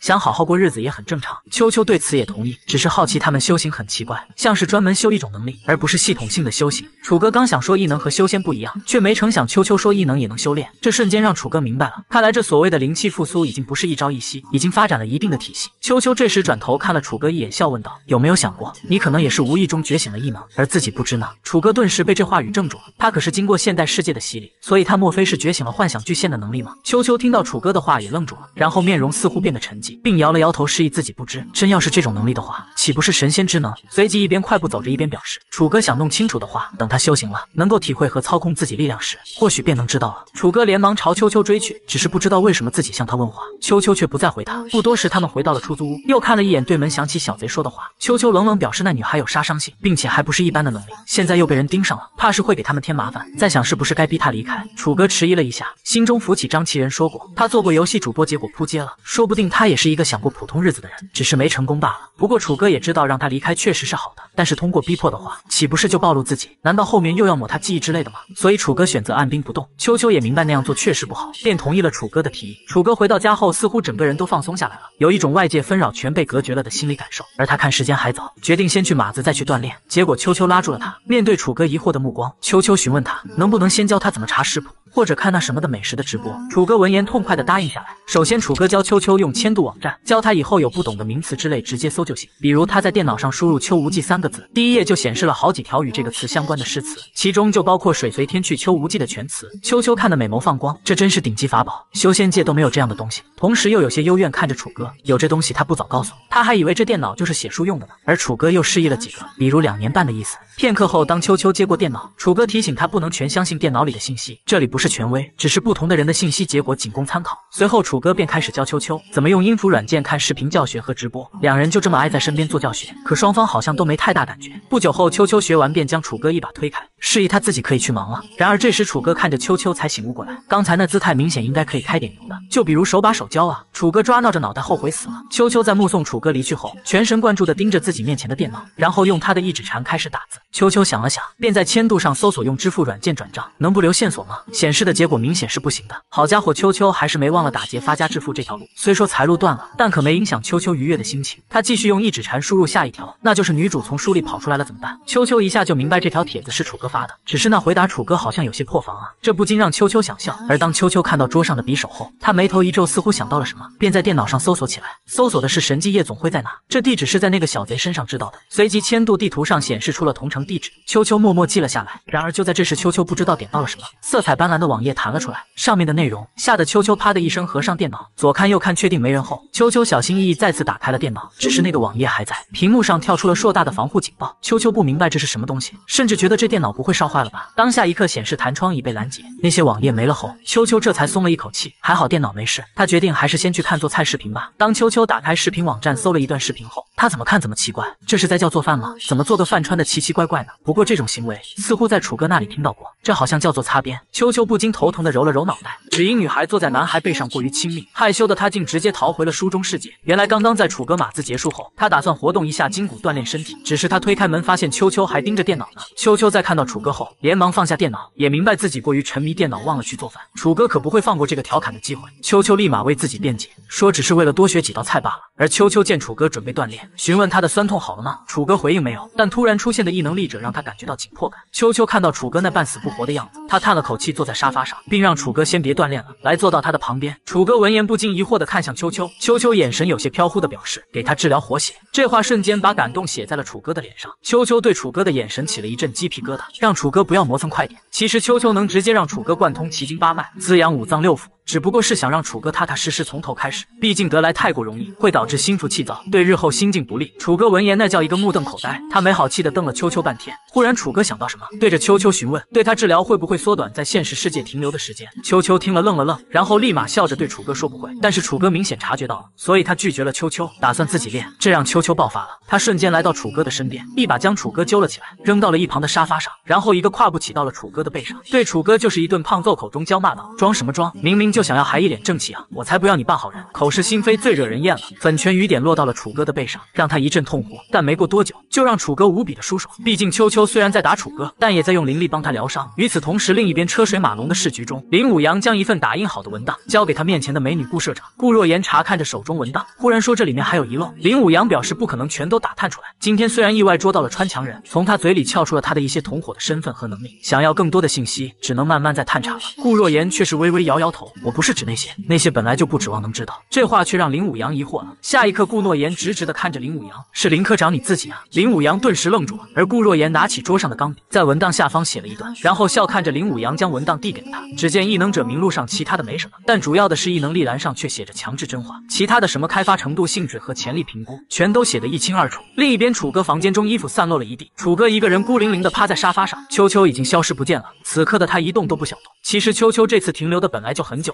大约也已经在濒临回去的边缘。现在大肆动用法力洗涤楚歌的根骨，自然是留不住了。而楚歌看着秋秋的衣服，要是之前楚歌肯定很兴奋，可现在楚歌连半点心情都没有，并且楚歌体内还停留着秋秋临走之前给他指点的经络运行。楚歌能感受到那法力在自己经脉中游走运转，也象征着楚歌的修行开始启蒙。楚歌是真没想到自己可以修炼当初瞎编出来的修行功法。本来在书中设定中，秋秋宗门屹立万年，他纵横天下，藏经楼里长期收集的宗门历代天才新创功法，这原本是为了方便主主角而设定的宗门基础，如今却全便宜了自己。而且像那些穿墙啊之类的异能，只是单一的一项特殊能力，说白了不过是仙道的一种术法。不过也不排除个别单一超强异能。如果他自己真有什么想象具现化的能力，那可比什么仙法都牛逼。也还好，他如今接触到了超凡世界，而且他这也算是唯我独法了。就是不知道现实这些灵气足够支撑他修炼到什么程度。只是如果修炼高了，能不能强行让秋秋永远留在这里呢？楚哥已经越来越习惯身边有他的存在，如今越来越厌恶这种离别，更加害怕秋秋一去不回，因为这是很有可能发生的事情。秋秋来现世的意义是什么？不就是认知一个全新的世界吗？但当他越来越熟悉这个世界，直到和现代人完全没有区别的时候？他还有有没有必要留在这里？楚哥第一次后悔之前无私帮助秋秋了解世界，应该让他学慢一点，更慢一点才好。楚哥将秋秋的衣服放到洗衣机后，他怔怔出神了好久，觉得强行是不行的。正因自己以善意待他，才会得到相同的态度回应。这一点秋秋也是知道的。楚哥摸了摸肚子，叹了声气，今天晚上没饭吃了，但他也没心情吃，便继续码字去。而在书中世界里，秋秋坐窗边，正在为自己沏茶。其实按楚哥的写法，他应该是站在窗边赏月，但是他偏偏就不。其实他这次跑回来也有点故意的，毕竟与楚哥第一次那么亲密接触，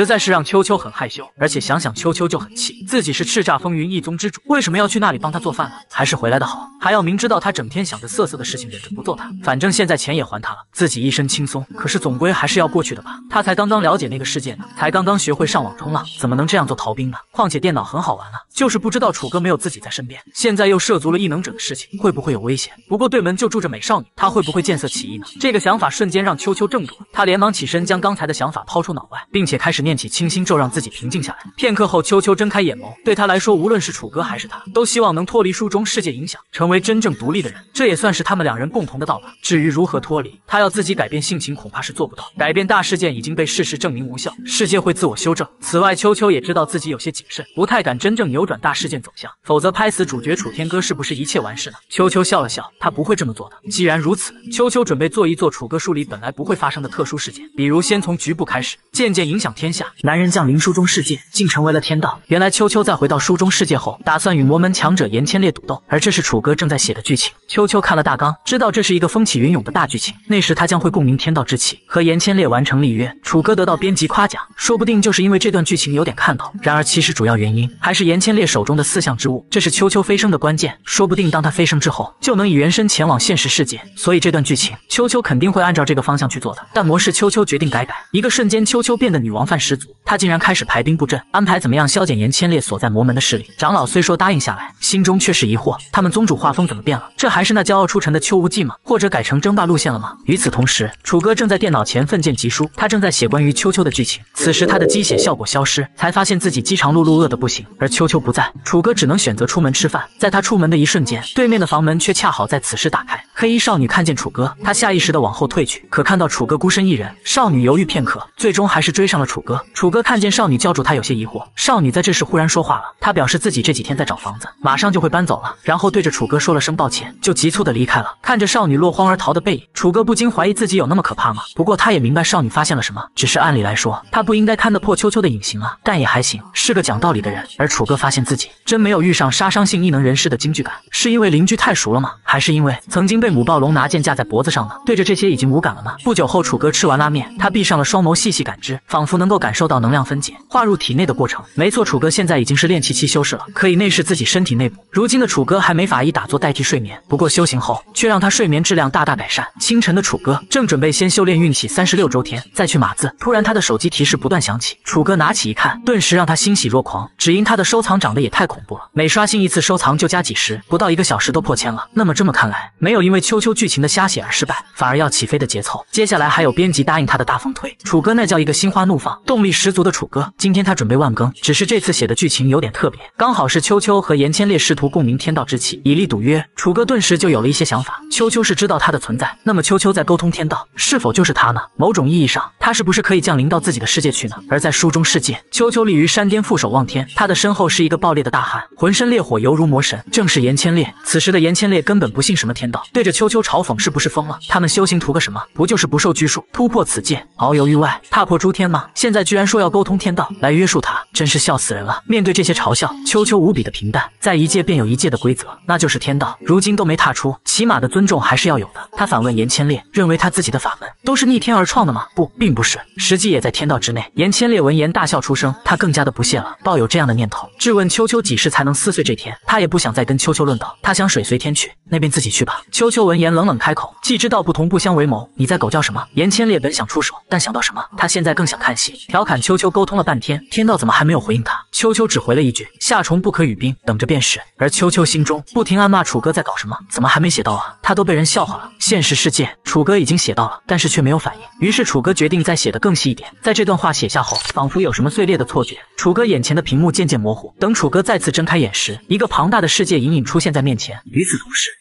的威压突然降临。天穹上传来闷雷般的声响，秋秋知道天道来了。颜千烈玩世不恭的神态瞬间消失，变得严峻无比。下一刻，他们灵魂深处仿佛响起了这样的共鸣：秋无忌与颜千烈比斗之约。成立几个鎏金大字隐隐在天穹浮现。此时的严千烈，他真的感到了一种约束在心间。如果事后毁约，恐怕真的会有点问题。秋秋却没有借机嘲笑他几句，而是他的魂海之中清晰的泛起了楚哥的笑脸，冲着他促狭的眨巴眨巴眼睛。秋秋真的没想到，可以在自己世界见到楚哥。男人降临书中世界。成为了天道，为的就是让秋秋与严千烈立下赌约。桀骜不驯的严千烈感受到了天道誓言约束，心思虽变得凝重，倒也没有纠结。毕竟约束是双方的，既然是赌斗，难道他秋无忌就稳赢吗？但这么大的事，也不能一 v 一 PK，场外宗门也会影响双方决斗天平。于是严千烈与秋秋战斗时间约定在七月十五百鬼夜行，让双方都有考虑的时间。秋秋看着严千烈化作火光远遁的背影，看似不在意，其实心中正在骂人。他们这个世界又没有什么七月十五百鬼夜行的说法，楚哥又在乱加什么设定啊？秋秋恨得牙痒痒，非常想。把楚哥揪出来打一顿，而现实世界楚哥则洋洋得意，觉得自己装逼语句写得很好，到时候分卷名都可以用“百鬼夜行”这个词。然而楚哥似乎发现了秋秋的想法，叫嚣着秋秋是不是想做自己？有本事就来，没本事就叫声父神听听。秋秋眼神瞬间冰冷，将自己长剑取出，一脚踏上飞剑，心中恶狠狠地让楚哥等着。外界楚哥正好奇秋秋怎么没回应，下一刻他的衣领被人揪了起来，转头一看，正是脸黑的秋秋。秋秋冷冷质问他：叫父神？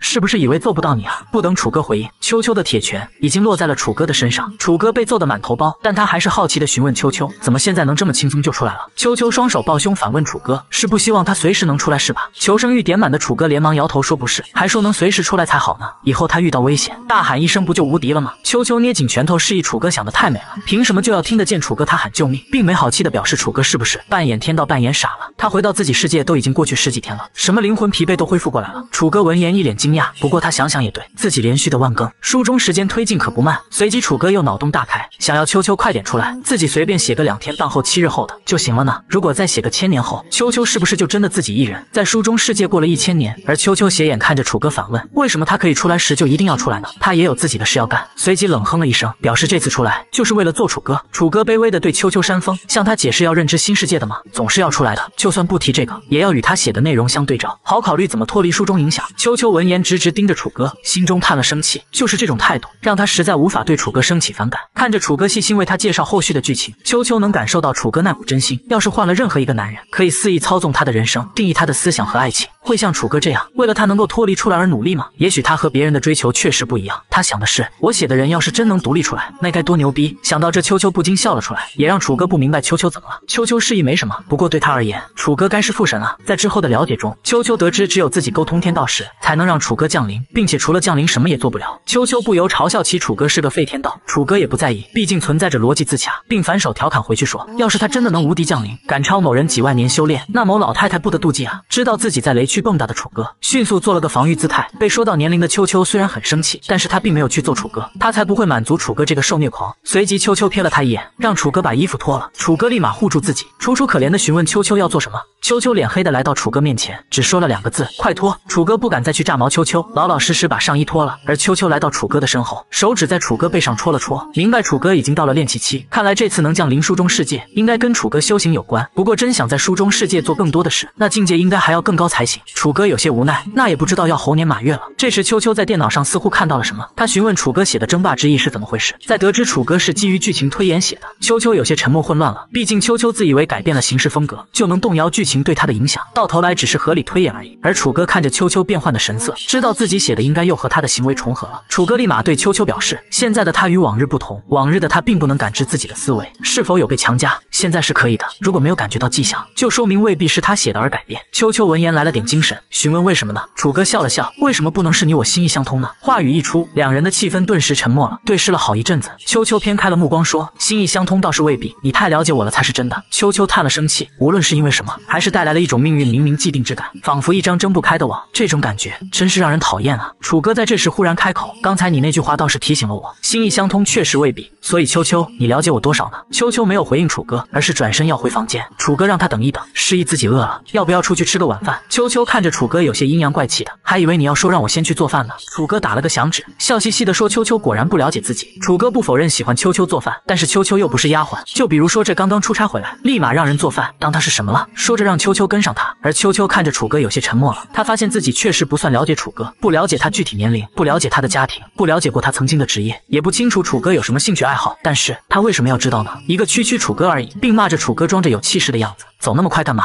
楚歌虽然不明白秋秋怎么生气了，不过这不是挺了解他的吗？外边，楚歌两人走在街道上，楚歌示意秋秋吃完饭再去买几套衣服吧。秋秋反问楚歌买什么？是女仆还是猫儿啊？楚歌顿时震惊了，结巴的询问秋秋怎么知道这些东西。秋秋那是一脸的神气，并表示还知道什么短裙，什么黑色丝袜呀，也是某些人的特殊癖好呢，恶心的不行。某人还骗我说很正常呢。说着一拳打在楚歌肚子上，楚歌颤抖捂着自己大声反驳秋秋，那个黑丝当初是他自己选的。看着秋秋红了的耳朵，楚歌会心一笑，尴尬的秋秋有点可爱呀，然后。追上秋秋，提议去吃火锅，怎么样？秋秋拒绝了，理由是太热了。楚哥一把拉上秋秋，表示有空调神器在，没什么的。秋秋看着拉着自己手的楚哥，他忘了楚哥是什么时候第一次拉自己的手，当时又是什么场面，好像没有特别留神，只是这次留神了。为什么没一脚把楚哥踢飞呢？好像楚哥也没什么特别的想法，刻意挣脱是不是显得自己太在意了？秋秋如此安慰着自己。书中仙女也有叛逆的一天，在这炎炎夏日，楚哥本想让秋秋穿的清凉一些，秋秋却直接穿起了长袖长裤，因为现在的他已经知道了那些黑丝不过是某人的变态爱好罢了。然而让秋秋不知道的是，他虽然把自己包裹得严严实实，但在牛仔裤高马尾的衬托下，那身材更是完美的彰显出来了。楚哥看的反而更加心动，一旁的路人也是如此，手机不禁拿起对着秋秋拍照。秋秋有所察觉，眸光一丝电流划过，于是他们的手机突然全部失灵。楚哥听见他们的惊呼声，低声询问秋秋把他们怎么了。秋秋不咸不淡回了一句，只是操控了简单的电流扰乱，没坏他们东西。楚哥闻言不由轻声一笑，因为他觉得秋秋挺了解他的，知道补最后一句。秋秋却是傲娇了，示意只是自自己想说而已。楚歌没有抬杠。而是附和着秋秋，只是这时的秋秋看到“神迹”两个字，似乎是想到了什么，看似随意的询问楚歌：“这两天有遇上麻烦吗？还有对门的少女怎么样了？”再从楚歌嘴中得知那位少女要搬走，秋秋微微点头，算他拎得清。这让楚歌好奇了，如果他不表态，是想好怎么对付他了吗？秋秋一边示意一边回应：“该威胁感人就威胁感人，该抹记忆就抹记忆。他确实没得罪过我们，但你都说我是一代宗主都能争霸了，为什么要在乎这点妇人之仁？”而秋秋看了楚歌一眼，他表示自己之前听他的是觉得楚歌对现实世世界比他了解，而不是非要听楚歌的话。随即向服务员说自己身上的衣服要了。至于楚歌呢，他觉得秋秋这次回来态度突然强硬好多，是因为打开了秋秋争霸属性的原因吗？与此同时，另一边的神迹夜总会表面看上去是个纸醉金迷的地方，可在电梯通往的地下深处，却比上方更要来的震耳欲聋。他们欢呼呐喊着语言暴力，原来这里是打黑拳的地方。一位小小带着鬼面的身影，却是赢得了大多数人的支持。原来他有不符合他幼小身份的强悍实力，已经在打黑拳中赢了不知多少次。可这一次他却打算要输，在面对敌人拳头时，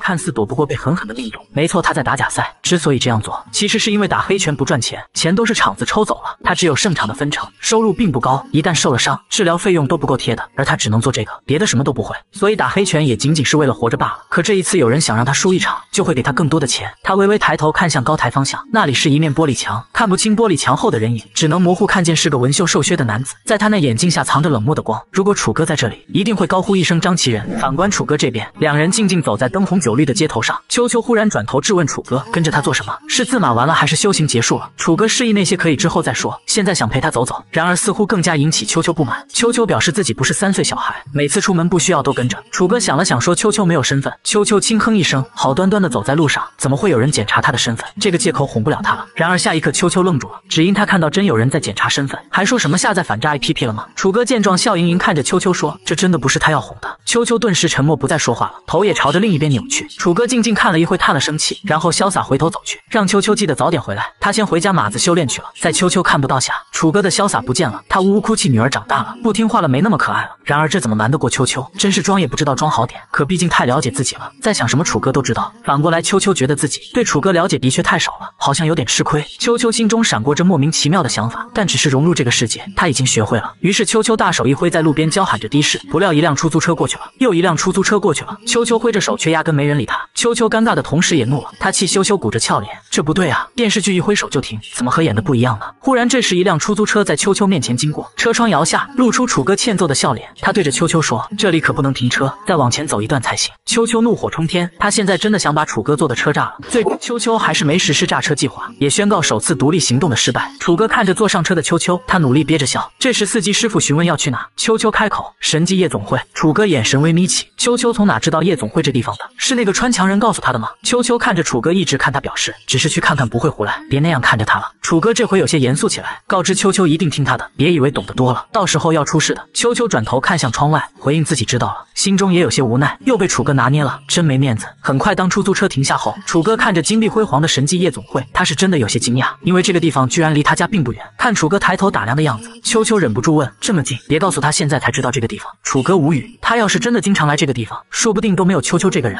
而停车没走的司机听得满头疑惑，没这个人，那你们什么关系啊？这是热舞的开始，也是今夜狂欢的序幕。那性感妩媚的兔女郎，角落里男女拥抱的啃吻，让秋秋他直接看懵了。在听到楚哥说这很正常，秋秋立马指着那对互啃的情侣，质问楚哥这叫正常吗？楚哥表示当然，他们进来没有被盘问，说明这里就是开放给普通人的。秋秋闻言顿时斜眼看楚哥，你们是对普通人有什么误解吗？这时服务员上啤酒，离开时楚哥还听到他嘟囔着，第一次有人来夜店就点一杯啤酒和花生米的。秋秋看着坐不稳的楚歌，询问他适应不了别人异样眼光吗？楚歌承认自己有点难堪。秋秋一边拿起啤酒，让楚歌回去多多修心。楚歌反骨来了，他说秋秋刚才拦车时候被人当傻子看，还不是急了？秋秋额头青筋暴起，女生独有技能发动。楚歌的腰间二两肉来了一个一百八十度大旋转，直接就是青了一块。而秋秋气羞羞大口喝起啤酒，然而刚喝了一口，全都喷了出来，吐着自己的小舌头叫骂道：“这是什么马尿？也太难喝了！”楚歌为其介绍是啤酒，且一口也喷掉了十块钱。秋秋闻言无视了楚歌的话，开始打量起四周，这里只是提供一个跳舞的场所，为什么会这么贵？是他的常识判断还有问题吗？楚哥哭笑不得，也不知该怎么解释，索性他询问秋秋能用神念探查其他地方吗？秋秋点了点头，示意自己可以。随后秋秋开始展开神念，可是接下来让秋秋傻眼了，他除了探查到隔壁男女拥吻，就还是男女拥吻，而楚哥就见到秋秋的俏脸在迅速的泛红。好奇的楚哥凑近秋秋，询问他看到了什么。见秋秋没有反应，楚哥越发的靠近，与秋秋近在咫尺的楚哥，呼吸间都吹到了秋秋的耳朵上。秋秋一个机灵，一拳将楚哥打飞，警告他他离自己远一点。随后秋秋平静下来，继续探查。就在秋秋神念深入地底时，他立马查看到了不一样的景象，明白他这是找到地方了。可接下来他却被打断了，只听周围响起了震耳欲聋的欢呼声。下一刻，秋秋呆住了，只见一位美女在围绕着钢管跳舞，那水蛇般的腰肢，妩媚撩人的表情管理，一眸一笑一动间引起了巨大欢呼。秋秋人看麻了，他决定自己就不该来。他不是没有见过邪修的那种场面，可没有一次比这种来的燥热。楚哥这时已经看得目不转睛，也明白这里贵的道理。突然，这时反应过来的他，连忙转头看向秋秋，却发现见秋秋居然没啥反应。至于秋秋神情一动，因为他看到舞女拉着自己的衣服，已经猜到他要做什么了，心中不禁疯狂呐喊：还真敢做呀！下一刻，舞女拉起自己的衣服扔向空中。就在那一刻，全场的灯光已然熄灭。楚哥遭到了秋秋的暴打，他一边追着秋秋，一边表示秋秋是最美的。台上的舞女不及他万分之一。秋秋直接不理楚哥，而是按照之前神念探查的地方走去。楚哥这时也愣住了，只因他看到前方居然有人看守着。楚哥刚询问秋秋要隐身过去吗，就看到秋秋失望看着他，还没问出话，就得知秋秋以为自己能在现实随意出入地方，没想到就这样。秋秋哼了哼，转身就大摇大摆地走进通道，让楚歌多少心中有些无奈，这也太傲娇了。而守门保镖正准备拦人时，秋秋随意一指，两位守门保安立马被催眠，恭恭敬敬开门让秋秋进入。通道尽头是一个向下的电梯，不知向下多久，电梯终于到底。门开的一瞬间，巨大的声浪喧嚣扑面而来，只见每一个人都是神色狰狞，暴力在呐喊杀了他。而格斗场中央，一位大汉一拳准备轰向前方，月影想要躲避，发现自己的身躯根本动不了，是重力操控吗？月影心中闪过这念头，可是已经来不及多想，那位大汉已经一拳重重的打在了月影的小腹上，月影直接被轰飞，撞在了身后的围栏上，鲜血从他的嘴里咳出。下方顾若言皱眉看着月影，手里有着他一份信息，可以看到月影的异能力是操控影子，潜力评估高达 S 级，所以他低声对身边下属嘱咐：这样的人物绝不能流落在黑拳打擂台。而擂台上，大汉哈哈大笑起来，他抬起了自己的脚，似乎准备随时踩踏倒在擂台上的月影。此时月影眼神透露着无助，明明可以踢下他。结束比赛，为什么还要折磨他？他已经很痛了。顿时地上阴影浮现，抓住了那大汉要踩下的臭脚。紧接着月影一手撑地，操控着影子抬起自己的右脚，狠狠踹在了大汉的下巴上。瞬间，大汉被一脚踹飞，场上也不断欢呼起月影的名字。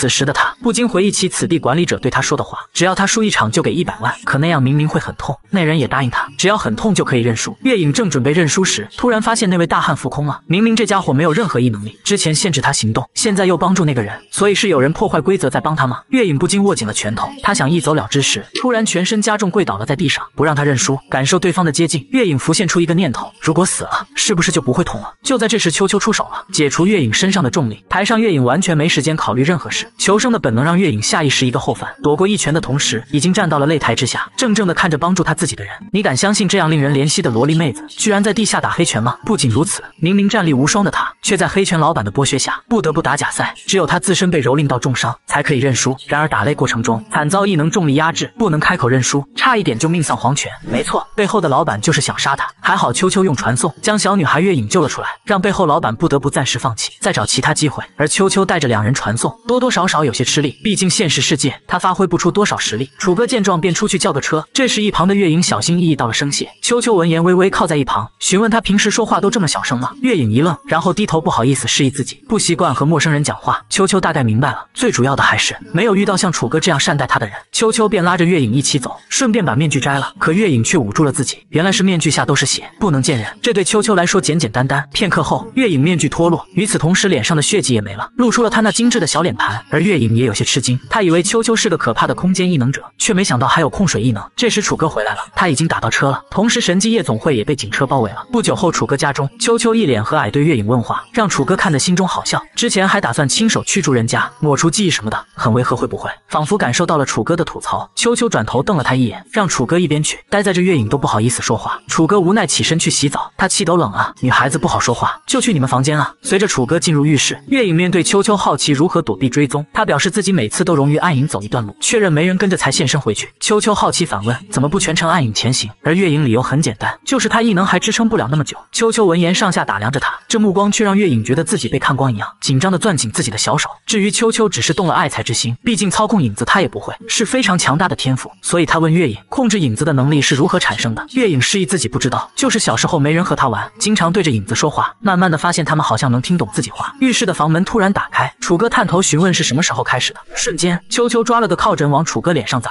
气羞羞让楚哥洗他的澡去，然后坐了下来让月影继续说，便得知是在三四年前，月影才有这能力。秋秋柔声询问，为什么一个人和影子说话？家人朋友呢？月影没有回答这个问题。屋内一片沉默，楚哥在里面心情也有些沉重。一个小女孩只能和影子说话，这背后的故事多少有点心酸。过了好一阵子，月影才站起来对着秋秋再次感谢，并表示自己马上就会搬走，不会给他们添麻烦。秋秋抓住了月影的小手，回应月影不用。本座想保的人，又有谁能找麻烦？楚哥听得一脸无奈，有关部门都插手了。接下来他就听到秋秋能不能将月影的能力学习推广开。楚哥暗道一声果然，可月影也不知道他能力是怎么来的。秋秋在得知月影平时修炼靠打架，也明白他为什么去打黑拳了。固然需要钱，也是为修炼异能。又询问月影没有人请他去做保镖或者杀手之类的吗？月影摇了摇头，他并不信任那些人，也不想听命令。打比赛赢多少场拿多少钱，对他来说更好。秋秋看着他的眼睛，心知这是很孤僻的姑娘，内心还藏着厚厚的墙，信任的只有周遭的影子。这时月影见楚哥要出来了，他向秋秋告别了，示意自己不会再打黑拳，就不打扰他们夫妻俩了。秋秋一听，刚转头想解释，不料月影已经走到了门外，不给他解释的机会，气得秋秋咬牙切齿的。这时他看到楚哥出来，顿时就是一顿小拳拳往楚哥身上招呼。楚哥无语了，刚才的话他也听到了，表示清清白白、问心无愧不就好了吗？秋秋大声说不一样，他还想带月影回书中世界呢，到时说漏嘴，他岂不是解释不清？这时秋秋话语一转，询问楚哥有没有办法让月影进入他的世界。楚哥早知道秋秋有这想法，可并不行，他自己都不知道该怎么进去，怎么送别人去。秋秋示意楚哥再添加一个角色呢？楚哥回应可以是可以，然而按照月影模板写新人物，那也只是一个以月影为原型的角色，并不是月影。就像他写主角本来是指自己，可实际并不是。秋秋顿时头脑风暴起来，看着秋秋思考的样子，楚哥忍不住笑着询问他要不要自己写自己的剧情，感觉很有意思的样子。秋秋眼睛顿时一亮，他来写有效果吗？只是第一次搂上女孩的细腰，男人居然称呼她为自己的女朋友。就在刚刚，秋秋正兴奋可以自己写自己的剧情，却没想到楚哥只是开玩笑的，让他快乐的心一下就浇灭了。原来是楚哥觉得书中世界的发展不是谁打字决定的，而是要逻辑自洽、文风一致，重点就在于能不能说服读者。秋秋闻言好奇的询问：书中世界的能力，那会不会受到读者数量的影响？楚哥摇头，能力上限已经是固定的，读者能影响到的应该是存在感和影响力。就好像汉末，人们认为有貂蝉，可实际的历史并没有他，但他却比很多真实存在的人物有影响力、有存在感，那么他就是真实的。也就是说，等到读者一多，秋秋的世界会更加的真实，两界连通也会更加稳定，说不定到时他就能轻易进入书中世界。秋秋听了愣了会，然后一个傲娇转头，让楚哥快去码字吧。楚哥立马站起身说好，他今天再来个万更，却又被秋秋叫停了。只见秋秋有些不好意思的询问楚哥，能不能把他以前写的书给他看一看。楚哥笑着应下。与此同时，楚哥隔壁的房间，月影蜷缩在床上，可以看到他浑身遍体鳞伤的，他睁着眼睛，也不知道心里在想什么，似乎是在说自己活下来了吗？他将头深深埋入自己的臂弯下。另一边，神迹夜总会，林武阳率众踏入夜总会大门，可里面的钢管舞早已结束，场面一片祥和，林武阳也只能作罢，毕竟搜查令申请不下来，只能是常规临检。这时有人迎了上来，表示林武阳他们辛苦了，要不要喝一杯热茶再走？林武阳却是反问他，是这里的老板吗？好像以前没见过他。张其仁苦笑着说，刚接手家族产业没几天。林武阳心中浮起神迹夜总会的法人情况，确实是刚刚变更。就在张其仁伸出自己手介绍自己时，林武阳突然看向对方眼睛，发动能力强制真话，询问他这地下有什么秘密吗？时间流逝，来到第二天，这一大早上的楚哥已经在外边晨跑锻炼身体，有些帅气的他倒是引起了一些妹子的注意。等到他回家冲个澡后，楚哥感觉自己又活过来了，修仙的他现在完全不疲惫。可一进客厅，楚哥却听到了秋秋的骂人声，滑动着手机骂着作者乱用成语，头边断流是这样用的吗？面对楚哥的好奇，秋秋直接拿着手机给楚哥一看，便看到了很眼熟的写法，然后随着秋秋返回一画，作者楚哥两字映入眼帘。秋秋顿时挥舞粉拳朝着楚哥打去，口中并骂着女宗主和门下女弟子一起伺候。楚哥大大很敢想啊，你怎么不去死一死啊？楚哥就在两人打情骂俏中，一声门铃却突然响起，两人对视了一眼，秋秋便去开门，可门一开，秋秋就愣了，这女人谁啊？她警惕的转头去看楚哥，楚哥在见到人后也是震惊喊了一声顾若言，顾若言同样很愣神，没想到这里是楚哥的家，同时暗骂楚哥风流，前不久还和自己相亲呢，这转头就跟别人同居了。楚哥这时反应过来，询问来他家有什么事吗？顾若言也回过神来，余光看到旁边的门牌号，对着楚哥说了声抱歉，是他敲错门了，然后询问楚哥，他对门是不是住着一位穿着黑衣少女？楚哥立马明白他是来找月影的，不过却反问他，都不知道这里住人是怎么找过来的？顾若言怔了怔，微笑的表示是听别人说的，而且吴阿姨和他算是同事，不必对他身份怀疑什么。排除了老妈，楚哥的戒心倒是真放了下来。至于听别人说，应该就是那个穿墙人了。至于秋秋，在看着两人交谈不停，他是终于忍不住的问楚哥，不介绍一下这是谁吗？秋秋的话语打断了两人，楚哥的尴尬的说是一位故交，顾若言大方回应是一个普通朋友，然后他反问楚哥，他身旁漂亮的女生是谁？楚哥闻言看了看秋秋，一个想法在他脑海突然浮现，紧接着他忽然伸手搂住了秋秋的腰，一脸幸福认真的说，这是他的女朋友，同时心里一阵解气。当初相亲时，顾若言可说他是个无业游民，现在我女朋友比你漂亮，比你仙气，比你能力强，可在别人看不见的地方，楚哥腰间的二两肉又受伤了。楚哥忍着疼痛，朝秋秋挤眉弄眼，示意秋秋帮忙撑一下面子。秋秋能感受到楚哥只是向对面女人示威，说明不想和那女人黏黏糊糊的，这是好事。秋秋就不和楚哥计较了。而顾若言看着他们两人，怎么说呢，还挺般配的。于是他朝着楚哥挥了挥手，示意自己不打扰了，然后敲响了对面的房门。在月影一开门，顾若言直接走进屋内，看着关上的房门，秋秋询问楚哥，他腰上的狗爪子要什么时候才拿开？楚哥触电般收回手，陪笑着，刚才就是撑个面子。秋秋笑了，表示对方好像并不在意，对一个并不在意你的人展示你过得好，是一种孩子气的行为，毫无意义。平时也不这样，受什么刺激了？这时，楚哥表示倒没什么，就是相亲过，而他看不上。秋秋听了，转身惊呼一声相亲，他立马反驳了自己之前的话，同意楚哥做的很对。楚哥闻言一脸问号，秋秋顿时脸色爆红，感觉好像说漏了什么。为什么对相亲的就做的很对？秋秋脸红结结巴巴解释起来，不是网络上说，曾经你对我爱理不理，明天我让你高攀不起，他的父神就要有这种心气。楚哥笑着点头，也没有拆穿秋秋，只是和男人同居的关系。可女孩不仅给男人搂自己的腰，还承认是他的女朋友。朋友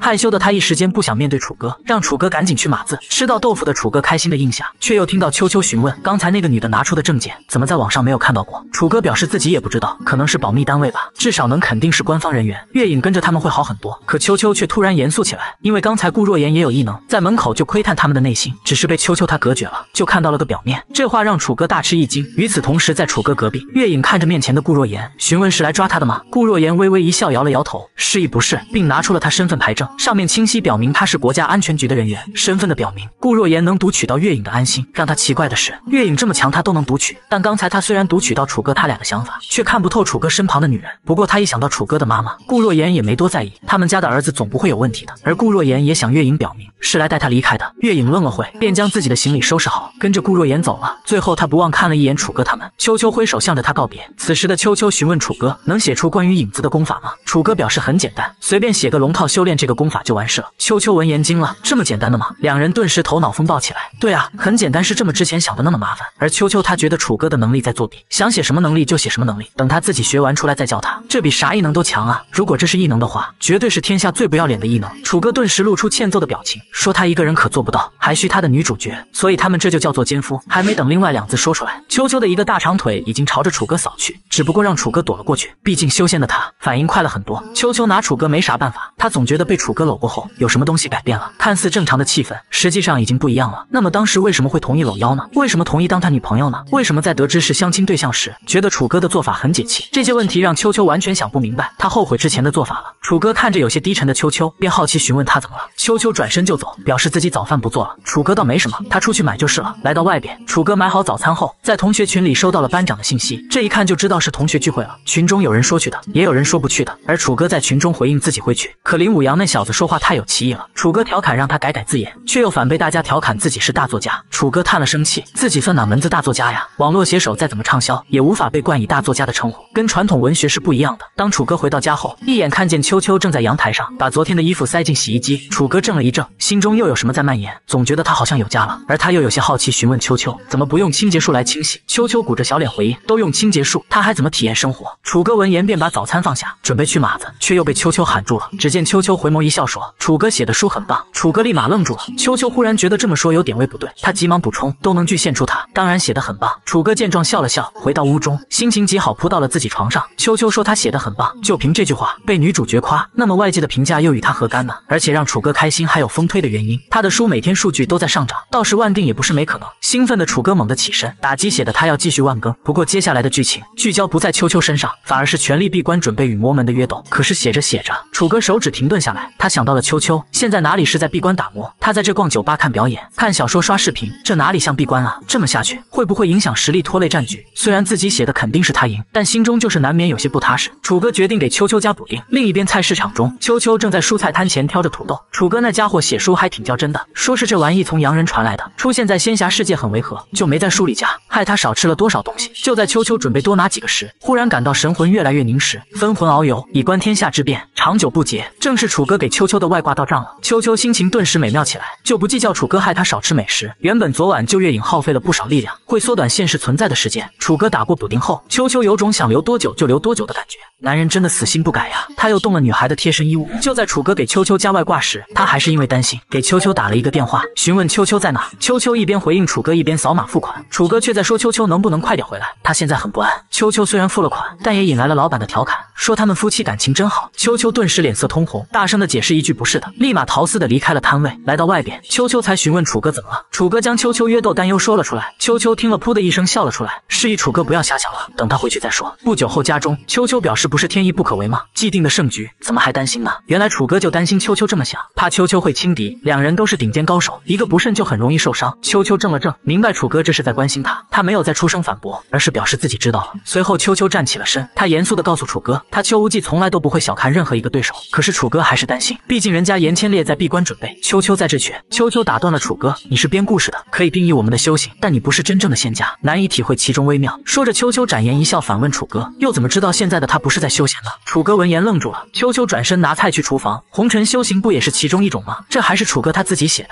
秋秋微微转头看了一眼楚歌，嘴边带着笑意说：“或许是他关心则乱，不是吗？”楚歌老脸一红，这女人在撩他呀。他偷瞄着秋秋，心里哼唧唧的，他就是关。心则乱怎么了，毕竟是自己带大的女主角。秋秋秋也不再管楚歌，拉起自己的衣袖，开始准备今天的晚餐。这时阳台外的洗衣机提示音提醒了楚歌衣服洗好了，他不想秋秋忙里忙外的，便来到洗衣机前，伸手往里一掏，把衣服拿了出去。可眼前的衣物让楚歌懵了，这是能放在一起洗的吗？这时的他冷汗已经流下，做贼似的看了一眼厨房，发现秋秋没发现。楚歌赶忙找出衣架准备晾晒起来，不料下一秒，清脆悦耳的声音在楚歌耳边响起。楚歌的余光向后看去，果然秋秋不知道什么时候来到了他的身后。楚歌手忙脚乱，都不知道往哪放了，想要解释什么时，秋秋却转身离开。很快，秋秋拿了一个大箱子出来，扔到了楚哥的面前，里面都是秋秋直接幻化出来的丝袜。秋秋询问楚哥这些够了吗？不够他再变，还是说因为少了原味的，所以不行呢？听到秋秋的阴阳怪气，楚哥人都傻了，询问秋秋这话都是哪学的？秋秋撇了撇嘴，表示是楚哥评论区看到的。楚哥哭笑不得，他的秋秋终究还是被网络污染了。这时秋秋质问楚哥，他的手中衣物能还给他了吗？说着一把抢过，并警告楚哥再拿他贴身衣物，就把他的头和所有的丝袜一起洗。说着，秋秋操控着灵力，将衣服挂在晾晒杆上。而秋秋见楚歌还在看他，没好气的让楚歌快去厨房把火关小。楚歌无奈应下，朝着厨房走去。不久后，秋秋大餐做完了，在饭桌上，楚歌表示自己后天要去同学会，就不回来吃晚饭了。见秋秋不明白，楚歌举了个类似宗门弟子聚会，看谁混得好的例子。秋秋听了，本来他还想留一阵子，既然楚歌刚好有事，那么他就先回去了。楚歌闻言看着秋秋，觉得这样也挺好的。现在想来就来，想回就回，再努力一下，说不定就能将秋秋原身拉出来了。秋秋似乎察觉到了楚歌想法，忽然反问楚歌是在想他原身吗？然后哼了一声，要是他原身出来，怕是一下就把楚歌揍成灰了。楚歌只能陪笑着说，对他而言，分身原身没什么区别的。秋秋没再说什么，而是打量了楚歌一下，询问他修行了几天。楚歌想了想，回应了三天。秋秋听了，心中感叹一声，三天就能感受到气感，在他书中世界已经是超级天才了，而且楚歌练气一层已经相当稳固，都能学简单的术法了。秋秋心里顿时有些不平衡，当然楚歌不知道这些，还询问秋秋他是不是修炼太慢了。秋秋哼了一声，嘴中故作鄙视的说，本以为父神多么精彩绝艳，看来也一般般。楚歌倒是不不在意，他从不觉得自己修炼资质有多好，现在能修行已经很满足了。秋秋则随意的说，虽然一般般，但练一些简单术法也可以了。问楚哥打算先学哪一种，楚哥听了激动喊他要学隐形还有透视。话落，一碗饭直接盖在他脑袋上。参加同学会的人都知道攀比是多么严重，在绝世美女秋秋没有装作楚哥粉丝为楚哥解围时，楚哥在参加同学聚会就被一个胖子调侃写书写不下去时，他可以帮忙楚哥找工作。楚哥无奈，早知道他就不来了。而在体制内当上科长的林武阳来时，胖子立马换了副嘴脸。林武阳没说什么，而是和楚歌交谈起来。楚歌却是一愣，林武阳转头看去，便看到了张其仁，他的身后还跟着一群小弟。下一刻，林武阳说出了让楚歌震惊不已的话，那就是和他合租的张其仁是个富二代，也是个夜总会的老板。这都是调查得来的消息，也让楚歌不必紧张，这和他没关系。而张其仁自然注意到了林武阳，他正让手下用异能去窃听林武阳的谈话。然而他手机消息在不断弹起，张其仁一看，按到一声，果然满屏都是楚歌的信息轰炸。质问张其仁所谓的扑街回家，原来是去继承亿万家家产。兄弟生气了，真的生气了。楚哥本以为扑街回家继承万亿家产之类的只是段子，没想到居然是真的。楚哥叹了生气，听着身旁同学们的炫耀攀比，他也不知说什么好。这时话题又说到楚哥身上，询问他写的书哪里可以买到。楚哥尴尬表示，他暂时还没有实体书。他们便好奇楚哥是怎么赚钱的，得知楚哥是靠付费阅读，不免有些嫌弃。他们觉得太不稳定了，还不如进场呢。甚至觉得楚哥在写颜色内容。听到楚哥说不是，他觉得不写颜色，怎么还要付费呢？楚哥无语的样子，落在他们同学眼中，却是认为楚歌在靠一些歪门邪道赚钱。这时又有女同学询问楚歌，他有没有女朋友？林武阳一把搂过楚歌，表示不必担心，作家是有女粉丝的。之前不就是有作家娶了粉丝，而且楚歌嘎嘎帅。还没等林武阳说完，就有人反驳，那得是名家才可以吧？这话一出，瞬间就冷场了。说着话的人自觉失言，自罚了一杯酒，表示歉意。楚歌心中无奈，倒也没多在意。然而就在这时，一本书递到了楚歌身前，向他要签名。楚歌抬头一看，只见一女孩穿着牛仔热裤，搭配着衬衫，不是秋秋是何人？楚歌呆住了，嘴嘴边微微张开，呢喃一声谢谢，然后在秋秋递过来的书本上签下了自己名字。在等秋秋欢呼离开后，所有人眼眸放光看着楚歌，他们没想到楚歌竟然有这么漂亮的女粉丝，甚至他们自己都想去写书了。然而这时服务员来到他们身前说，楼上包厢张总是楚歌先生的粉丝，已经把账帮他们结了。楚歌立马明白是张其仁做的，众人再次发出赞叹之声。与此同时，林武阳意味深长看着楚歌，示意等下聊聊。楚歌犹豫片刻，答应了下来。不久后聚会结束，两人走在路边，林武阳询问楚歌对张其仁了解多少。楚哥正要说话时，林武阳眼中异样之光闪过，楚歌立马感受到有什么能力在影响自己，似乎按捺不住就要说真话。他心中微动，任由这个异能力入侵，表示自己对张其仁一无所知，曾经的了解太片面了。而林武阳也察觉到了是真话，楚歌顺势询问林武阳：“张其仁干什么了？是夜总会那边不干净吗？”林武阳微微摇头，并不是所有夜总会都不干净。至于张其仁的调查已经被叫停了。楚歌心神一凝，被叫停是意味张其仁身后的势力不简单吗？林武阳则是希望，以后要是听到了关于张其仁的情况，可以告知他。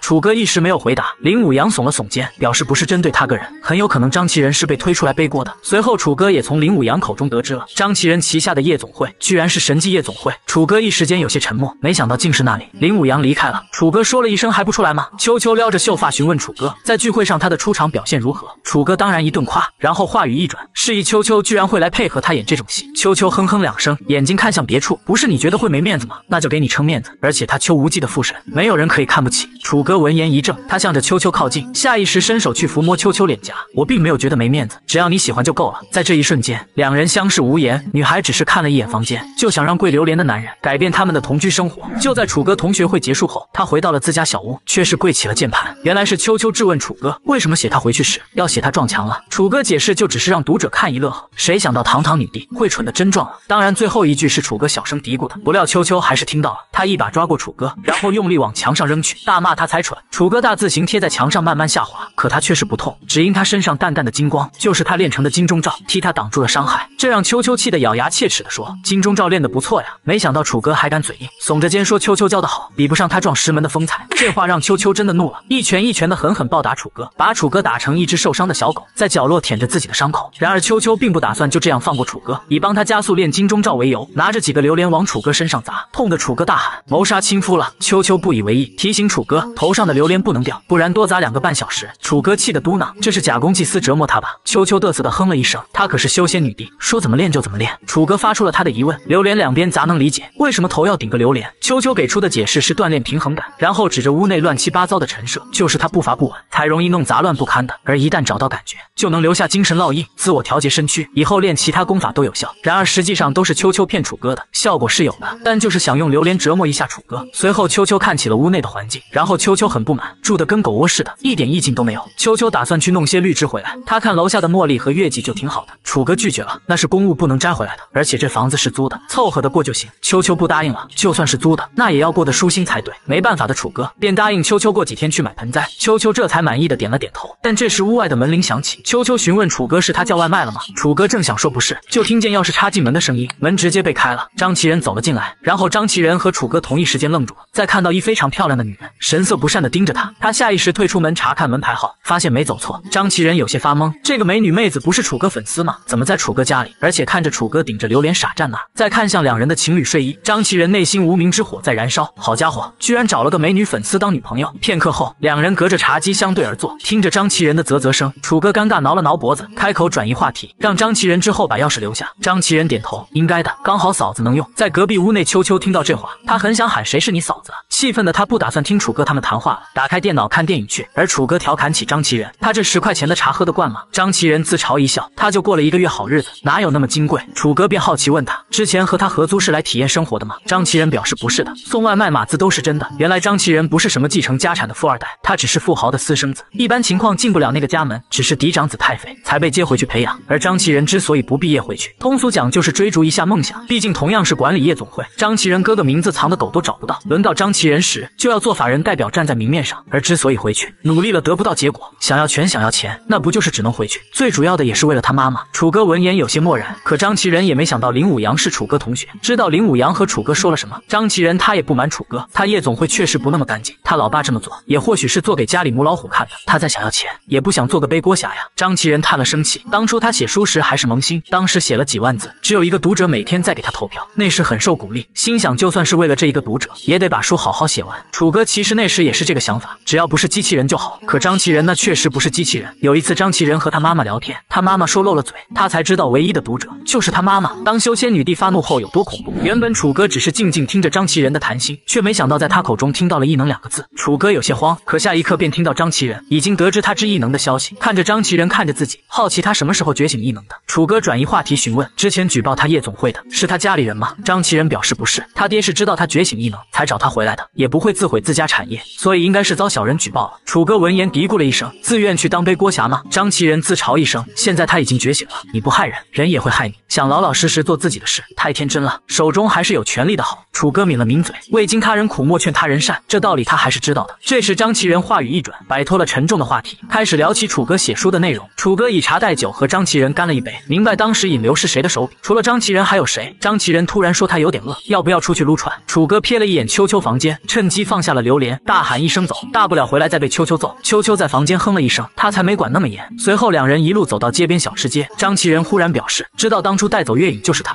楚歌瞳孔微微一缩，怪不得当时没人追来，是被张其仁拦下了呀。而黑拳这烂摊子，其实是张其仁哥哥负责的，因经营不善让他来接手，其实就是来背锅的。楚歌可不信张其仁会认命，张其仁点头示意自然，毕竟他兄弟是真废物，要是他做得好，不是没有上位的可能。而对付月影就是他哥哥想出来的，当时月影连胜，导致赔率倾斜特别严重，内部一直在亏损，所以就想月影输一把，然后都吃回去。不料月影拒绝了，所以他就找了个穿墙人，试图场外解决月影。楚哥觉得废物没说错，解决不了问题就解决提出问题的人。当时张其仁怕留下把柄，他也是带着人一路跟了过去。接下来楚哥也都知道了，骗他说是当保安在捉贼。也在那时，张其仁见到了秋秋，只是离得远没看清。楚哥连忙转移话题问后来呢？后来就如张其仁所料，果然出事了，穿墙人落入到了林武阳手中，他爹立马更换了法人，把他推到了明面上。不过说到变故，张其仁怀疑还是楚哥的原因，毕竟是楚哥带月影离开，所以有着联系，有理由相信解决穿墙强人的就是他。楚歌无语，都猜到有联系，为什么猜不到月影救助他们对门？而这时张其仁倒是好奇楚歌的异能，居然能带人凭空消失。楚歌看着张其仁没有说话，张其仁见楚歌不愿说，也没再探究这个秘密。在两人互损中，楚歌询问张其仁，在他接手后是不是还在对付月影？张其仁表示当然，这可是刚上任救出成绩的最佳切入点。楚歌顿住了，看不到他什么表情，口中质问张其仁是想他死吗？张其仁叹了声气，没办法，他的存在就是亏损，在打黑拳中死去是最佳的归宿。楚歌不爽的啧了一一声，用力抓住张其仁的衣服，对他大声怒骂是在杀人啊！张其仁冷声说那又如何？做不出成绩到时死的就是他。张其仁拍开了楚歌的手，这个世界本就不公平，不要太天真了。张其仁真的把楚歌当兄弟，才掏心掏肺跟楚歌都说了，在这个世界上当老实人只会被啃的骨头都不剩。楚歌没有争辩，说了一句做坏事是会有报应的。张其仁无所谓的笑了笑，至少目前来看，林武阳拿他没办法。楚歌反问他没有想过报应可能来自其他地方，有没有想过月影真实身份？张其仁你真的是差点亲手杀了自己暗恋的姑娘。张其仁笑容慢慢收敛了，最后完全呆住了，整个人木然站在那里一动不动的。片刻，他捂着脸沙哑说不可能，别开这种玩笑了。楚歌默然无言，张其仁还是不信月影那么冷酷的格斗者不沾酒的，可对门的姑娘经常酒意熏染，不是一个人，对不对？楚歌回应了一声，如果他喝酒只是为了镇痛呢？楚歌便看到一条汉子慢慢的蹲下，蜷缩成一团。其实那天楚歌带走月影后，张其仁就察觉到了不对，只是不愿相信罢了。而楚歌也没想到张其仁喜欢月影，喜欢到了这程度。两人明明都没说过话，但这场冤孽还是让人叹息。第一次做坏事的张其仁，就亲手毁掉了自己的爱情。过了好久好久，张其仁才站起身对楚歌道谢，还好救了他。而他这条路怕也是回不去了，也不想就此回去，刚好也没什么可失去了，也很享受如今拥有的一切。而楚歌拥有异能，也可以过上更舒坦的日子。楚歌表示自己不需要，张其仁没反驳，但是已经拥有了，就怎么躲都躲不过了。此时张其仁也准备走了，他告诉楚歌，想要了解异能，以后可以找他，知道对他现在做的事不好接受，如果要和他绝交，他也没怨言，反正还当楚歌是兄弟。楚歌正要说什么，心中忽然预警，似有什么极其危险的能量奔着张其仁而去。楚歌下意识地推开张其仁，淡淡的金光在体表泛起，拦截了那道攻击。袭击之人正暗道可惜之时，一道人影不知何时站在他身后，面露凶光的看着他。不是秋秋还有谁？女孩手里提溜着一个人，浑身散发着杀气走了过来，只因她的男人遭受到了攻击。原来楚歌是帮张其仁挡了伤害。张其仁连忙上前扶住楚歌，担心询问楚歌有没有事。楚歌微微摇头，只是衣服破了个洞，肩头有点淤青。张其仁看了一眼，发现确实没事，才松了口气。而他之所以不担心自己，因为清楚谁在对他出手。然而就在两人交谈期间，张其仁为楚歌替自己挡伤害，当他是兄弟而开心时，一道充满杀意的声音传了过来。只见秋秋拎着一个男人，质问张其仁聊够了没有，然后直接把人扔在了张其仁的脚下，冷声让他带回去好好处理。如果给他们带来任何麻烦，我可不认你是什么兄弟。张其仁这时也明白了，当初带走月影异能者的是秋秋。感受着秋秋那恐怖气场，张其仁同时也明白，楚歌的女朋友不是一般人。张其仁一把抓起男人，表示自己会处理好的。楚歌见状有些犹豫，询问张其仁是不是又要杀人了。张其仁否认了，毕竟这可是一枚好筹码。将人扛起后，张其仁也向楚歌告别了，可能以后就后会有无期了。楚哥默默看着张其仁的离去，他不是黑道，无法理解现在张其仁在想什么。而暗杀这种事都发生了，也没办法劝他金盆洗手，以后可能就是两个世界的人了。秋秋这时终于说话了，给了张其仁一个高度评价。要是在他的世界，应该会有一番大作为，在这个世界却受限。楚哥叹了声气，岂止受限，简直就是死路。再这么走下去，怕是回不了头了。秋秋不是很在意，那种人心里清楚的很。他倒是好奇之后会怎么置死地而后生。楚歌闻言笑了笑，你对他反抗命运起了共鸣吗？而秋秋的回应让楚歌有些不知所措，因为秋秋说楚歌对他们的世界简直言法随出，那么写他死是不是也反抗不了？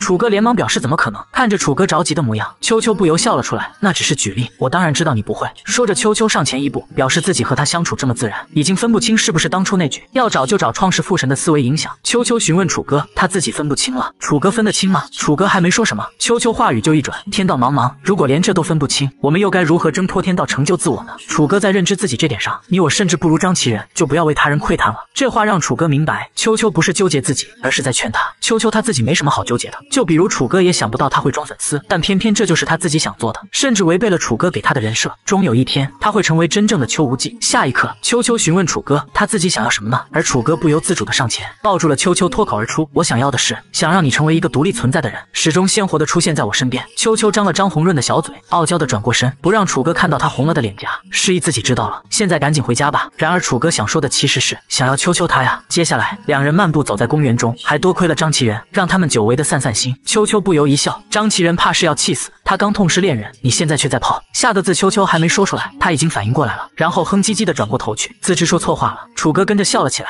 泡字可能不太好听，应该换个窈窕淑女、君子好逑才对。这话一出，秋秋脸上又泛起红润，她瞪着楚歌，一时间说出不来话。楚歌死猪不怕开水烫，示意自己就是个变态，幻想和书里纸片人谈恋爱。秋秋愤然的大喊：“我才不是纸片人！”楚歌一脸赞同，反问秋秋：“不是纸片人，那给不给他机会？”秋秋这才明白上了楚歌的当，怒喊着不给。然而巨大的声音也是引起了别人注意。楚歌连忙拉上了秋秋的小手，示意他小声一点。秋秋还是骂着楚歌，但却没有挣开楚歌的手。而张其人的遭遇也提醒了楚歌，要是张其人向月影告白了，那么一切是不是都会不一样？所以说，喜欢就要大声说出来，才不会错过，不会遗憾。秋秋怔怔看着楚哥，他不知道这话该回答对还是不对。说他对的话，是不是等于认可他的表白？这些纷乱不堪的想法让秋秋一时间不知该怎么办。他甚至感觉比修仙还难。楚哥也一时没继续说话，两人就这么默默的走着，只是一股旖旎氛围在他们两人中产生，让秋秋觉得自己走路都怪怪的。这就是甜甜的恋爱吗？喜爱的女孩和自己同床而眠，当睁开眼睛时，满眼都是女孩的身影。楚哥甚至怀疑自己是不是在做梦。原来就在昨晚，两人关系一下子就进步了一大姐。楚哥都已经向秋秋表白了，而那旖旎的氛围让楚哥不愿回去，想与秋秋在外边多走一会。两人就这么边走边聊。这时秋秋趁机把气氛拉回正经事上，询问楚哥他想创造的世界是什么。楚哥出神的想了好一阵子，他理解秋秋的潜意思。他想到当初张其人写书情景，因扑街没人看到破防流泪，而楚哥现在写的不过只是别人爱看的故事。毕竟生活压力摆在那，创造世界什么的。秋秋打断了楚哥的话，他觉得这样赚钱没什么不对。然而秋秋真正想表达的是，楚哥最初的初心应该是他的书中世界，世界越丰满越精细越真实，才是一个越发合格的创世之神。至于在这个世界下，可以有无数动人的故事，楚天歌的故事只不过是拿来写的其中一种罢了。楚哥，你之前不是说过吗？先有人物才有世界，如果他和楚天歌都没了，世界也就崩溃了。那么在此刻，秋秋已经不再那么认为了，他们不过是世界的小小缩影，哪怕他和楚天歌都死了，世界的转动也不会因他们而停下。到了那种时候，楚歌便是神，而他要独立存在又有何难？楚歌的心豁然开朗。现在他的群像写法不就是这样吗？没有人再是主角，也可以说每个人都是主角。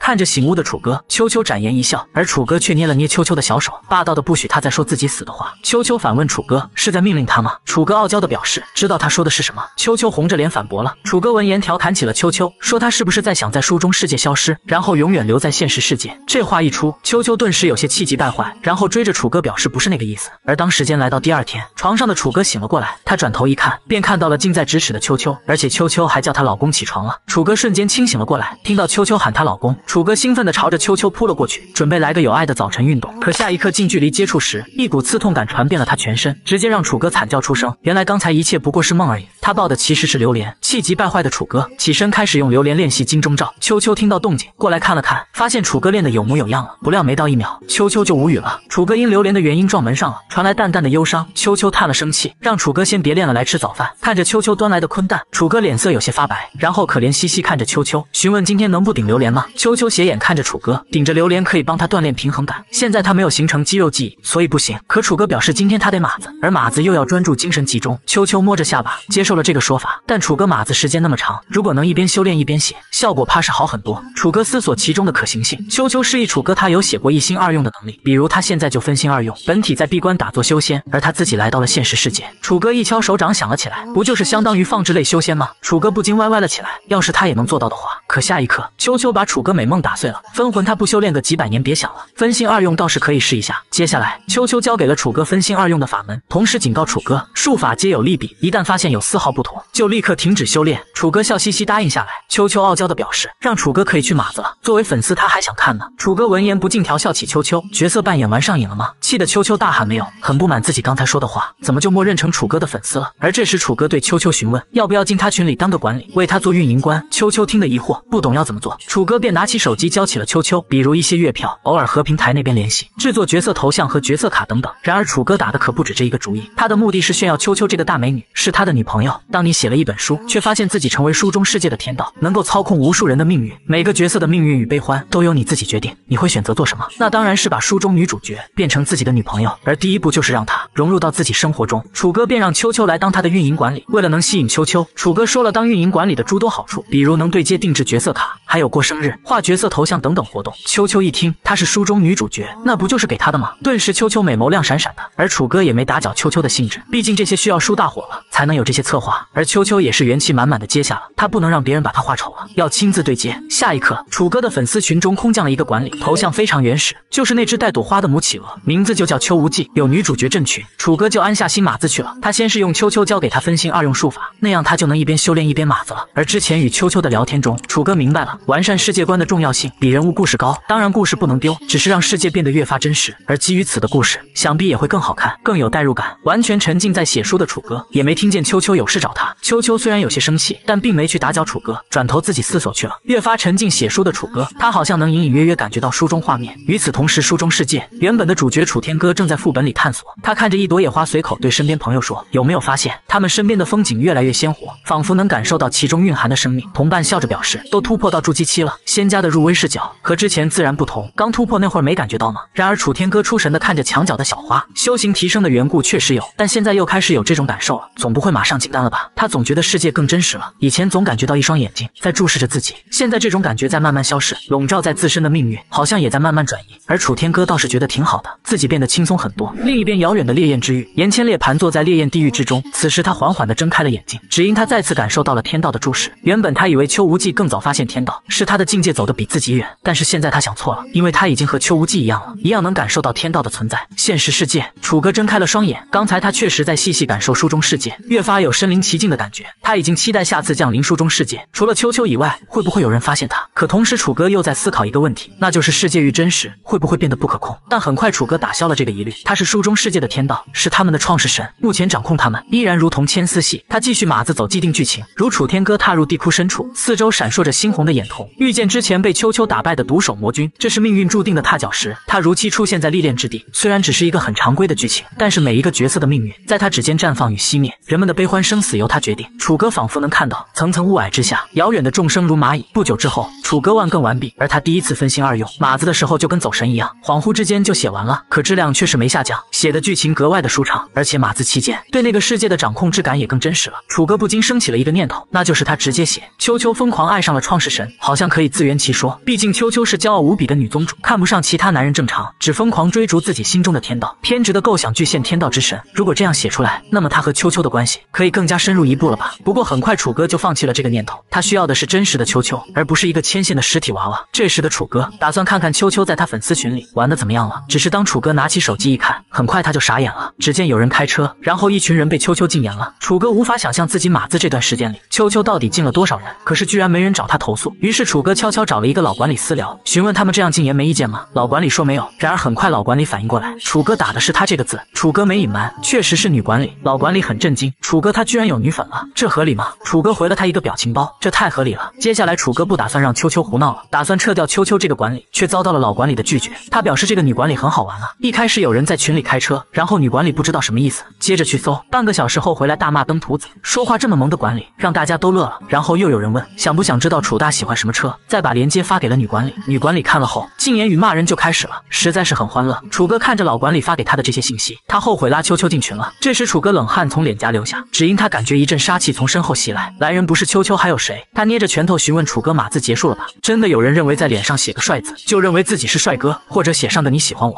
就会有美女投怀送抱吗？原本楚哥拉秋秋是来镇群的，结果因为群内的开车，直接把秋秋惹恼了，吓得楚哥顶个榴莲乖乖坐在沙发上，听着秋秋对自己阴阳怪气。楚哥只能辩解他们是开玩笑的，而且他也不是变态。秋秋对着楚哥冷笑，他才不信呢，不是变态，会有人当初骗他穿黑丝吗？而楚哥看着秋秋红润的脸，就知道这位傲娇宗主还是羞涩了，接受不了那么开放。楚哥叹了声气，差一点他隐藏的几个 T 文件就被群员出卖了。他为了证明自己也是有正经的群，便把那个大神群给秋秋看，可那群的恶搞名字以及那些消息，还是让秋秋误会了，对着楚哥那叫一个嫌弃，还说不是变态。秋秋让楚哥少混那种群，刚才他看的什么屠神正道群、未来白金群就很不错，有志气。随即秋秋回到自己房间中，楚哥无奈点开屠神正道群看了一眼，里面正在复读年终大神年会名单出来了，本群零人，未来白金群也是一样的零人，反而扑街开车群却是另一番模样，不仅有十八人，还有那凡尔赛的的话，看得楚哥血压开始升高。而屋内的秋秋把睡衣换了，戴上口罩，对着楚哥表示自己要出门买宣纸，顺便买几盆好看的盆栽回来。楚哥闻言让秋秋别坐地铁，他现在坐不了。秋秋回头示意自己研究过了，坐公交可以，搞个口罩就行，哪路车都看好了，实在不行就直接飞。砰的一声关上房房门，楚哥挠了挠头，其实他很想问秋秋是看了哪辆车。随即楚哥开始质问群内他的粉丝们，今天开车开得很爽啊，看着都是夸秋秋的话，看着有人说以后开车会注意一点，楚哥直接回不用，直接开到他习惯就行，还用他的加更为诱饵。而这些话当然被秋秋看到了，气得他咬牙切齿的，又不能禁言楚哥这个群主，于是公交车的福把就遭殃了。不多时，秋秋将那些杂念去除，可还是气不过楚哥居然敢怂恿他们开车。不过秋秋这时想了想，觉得自己是不是太大惊小怪了？秋秋看得出，这并非一个群都都是变态，而是他们对那些话见怪不怪了，反倒是他自己言行显得那么突兀。哪怕他一直在试图理解这个世界，在表面看上去已经很像个现代人了，骨子里还是格格不入。他不禁想到楚哥问话，问自己了解他多少？秋秋不禁握紧了拳头，他确实是不怎么了解楚哥。然而这时，司机师傅回头对秋秋喊了一声：“车到终点站了。”秋秋顿时懵了，下了车，他对楚哥就是一顿臭骂，都怪他让自己坐到终点站。这时一阵微风拂面，秋秋睁开眼眸，看着绿水青山，茫茫稻田，秋秋内心不禁放松了下来。他终于看见了一些他熟悉的风景，而这一幕也被一名干活的男人看见。秋秋那仙气飘飘的模样，瞬间就击中了他的内心，于是伸手摸向后面的裤子口袋，掏出了一支笔，在脸上写了起来，然后朝着秋秋走去搭讪。秋秋顿时震惊了，怎么会有一个这么帅的男人？简直是万年所见最帅的美男子。只见男人脸上写了个帅字，怎么看都有点滑稽。而秋秋承认他很帅，可也不想和一个脸上写字的人说话。卷毛不禁皱眉，帅都没有用吗？他又转过身去写了起来。只见他在帅的下面写了个你喜欢我。于是他再转过头要说什么时，迎面就是一个鞋底踹了过来，卷毛顿时空中转体三百六十度，砰的一声趴在田埂上呻吟。秋秋冷哼了一声，凭你也敢对本座用惑心之术，连他都不敢影响本座心智。卷毛哭了，他这不是惑心术啊，谁家惑心术写脸上啊？这狗屁异能一点屁用都没有。秋秋则是又好气又好笑，这种异能他倒是第一次见。这时秋秋听见他接起电话，其中几个关键字引起了他的注意，比如请他们干活以及张总两个字。而另一边的楚哥此时无比欠揍的笑着，原来是粉丝在声讨他，说他的章节短小无力。至于他们说的要顺着网线揍楚哥一点都不在意。然而下一刻，屏幕里迎面出现一只拳头的虚影，狠狠地砸在他的脸上。楚哥顿时懵了，真的有顺着网线打人的这种异能吗？要不是他有金钟罩，怕不是被打晕。而且那是不是也能？想到那种可能，楚哥不禁害怕，捂住了屁股。与此同时，另一边一个胖子捂着手大喊着疼。楚大是戴着铁面具码字的吗？这时手机响了，胖子接起一听，有人要请他们干活。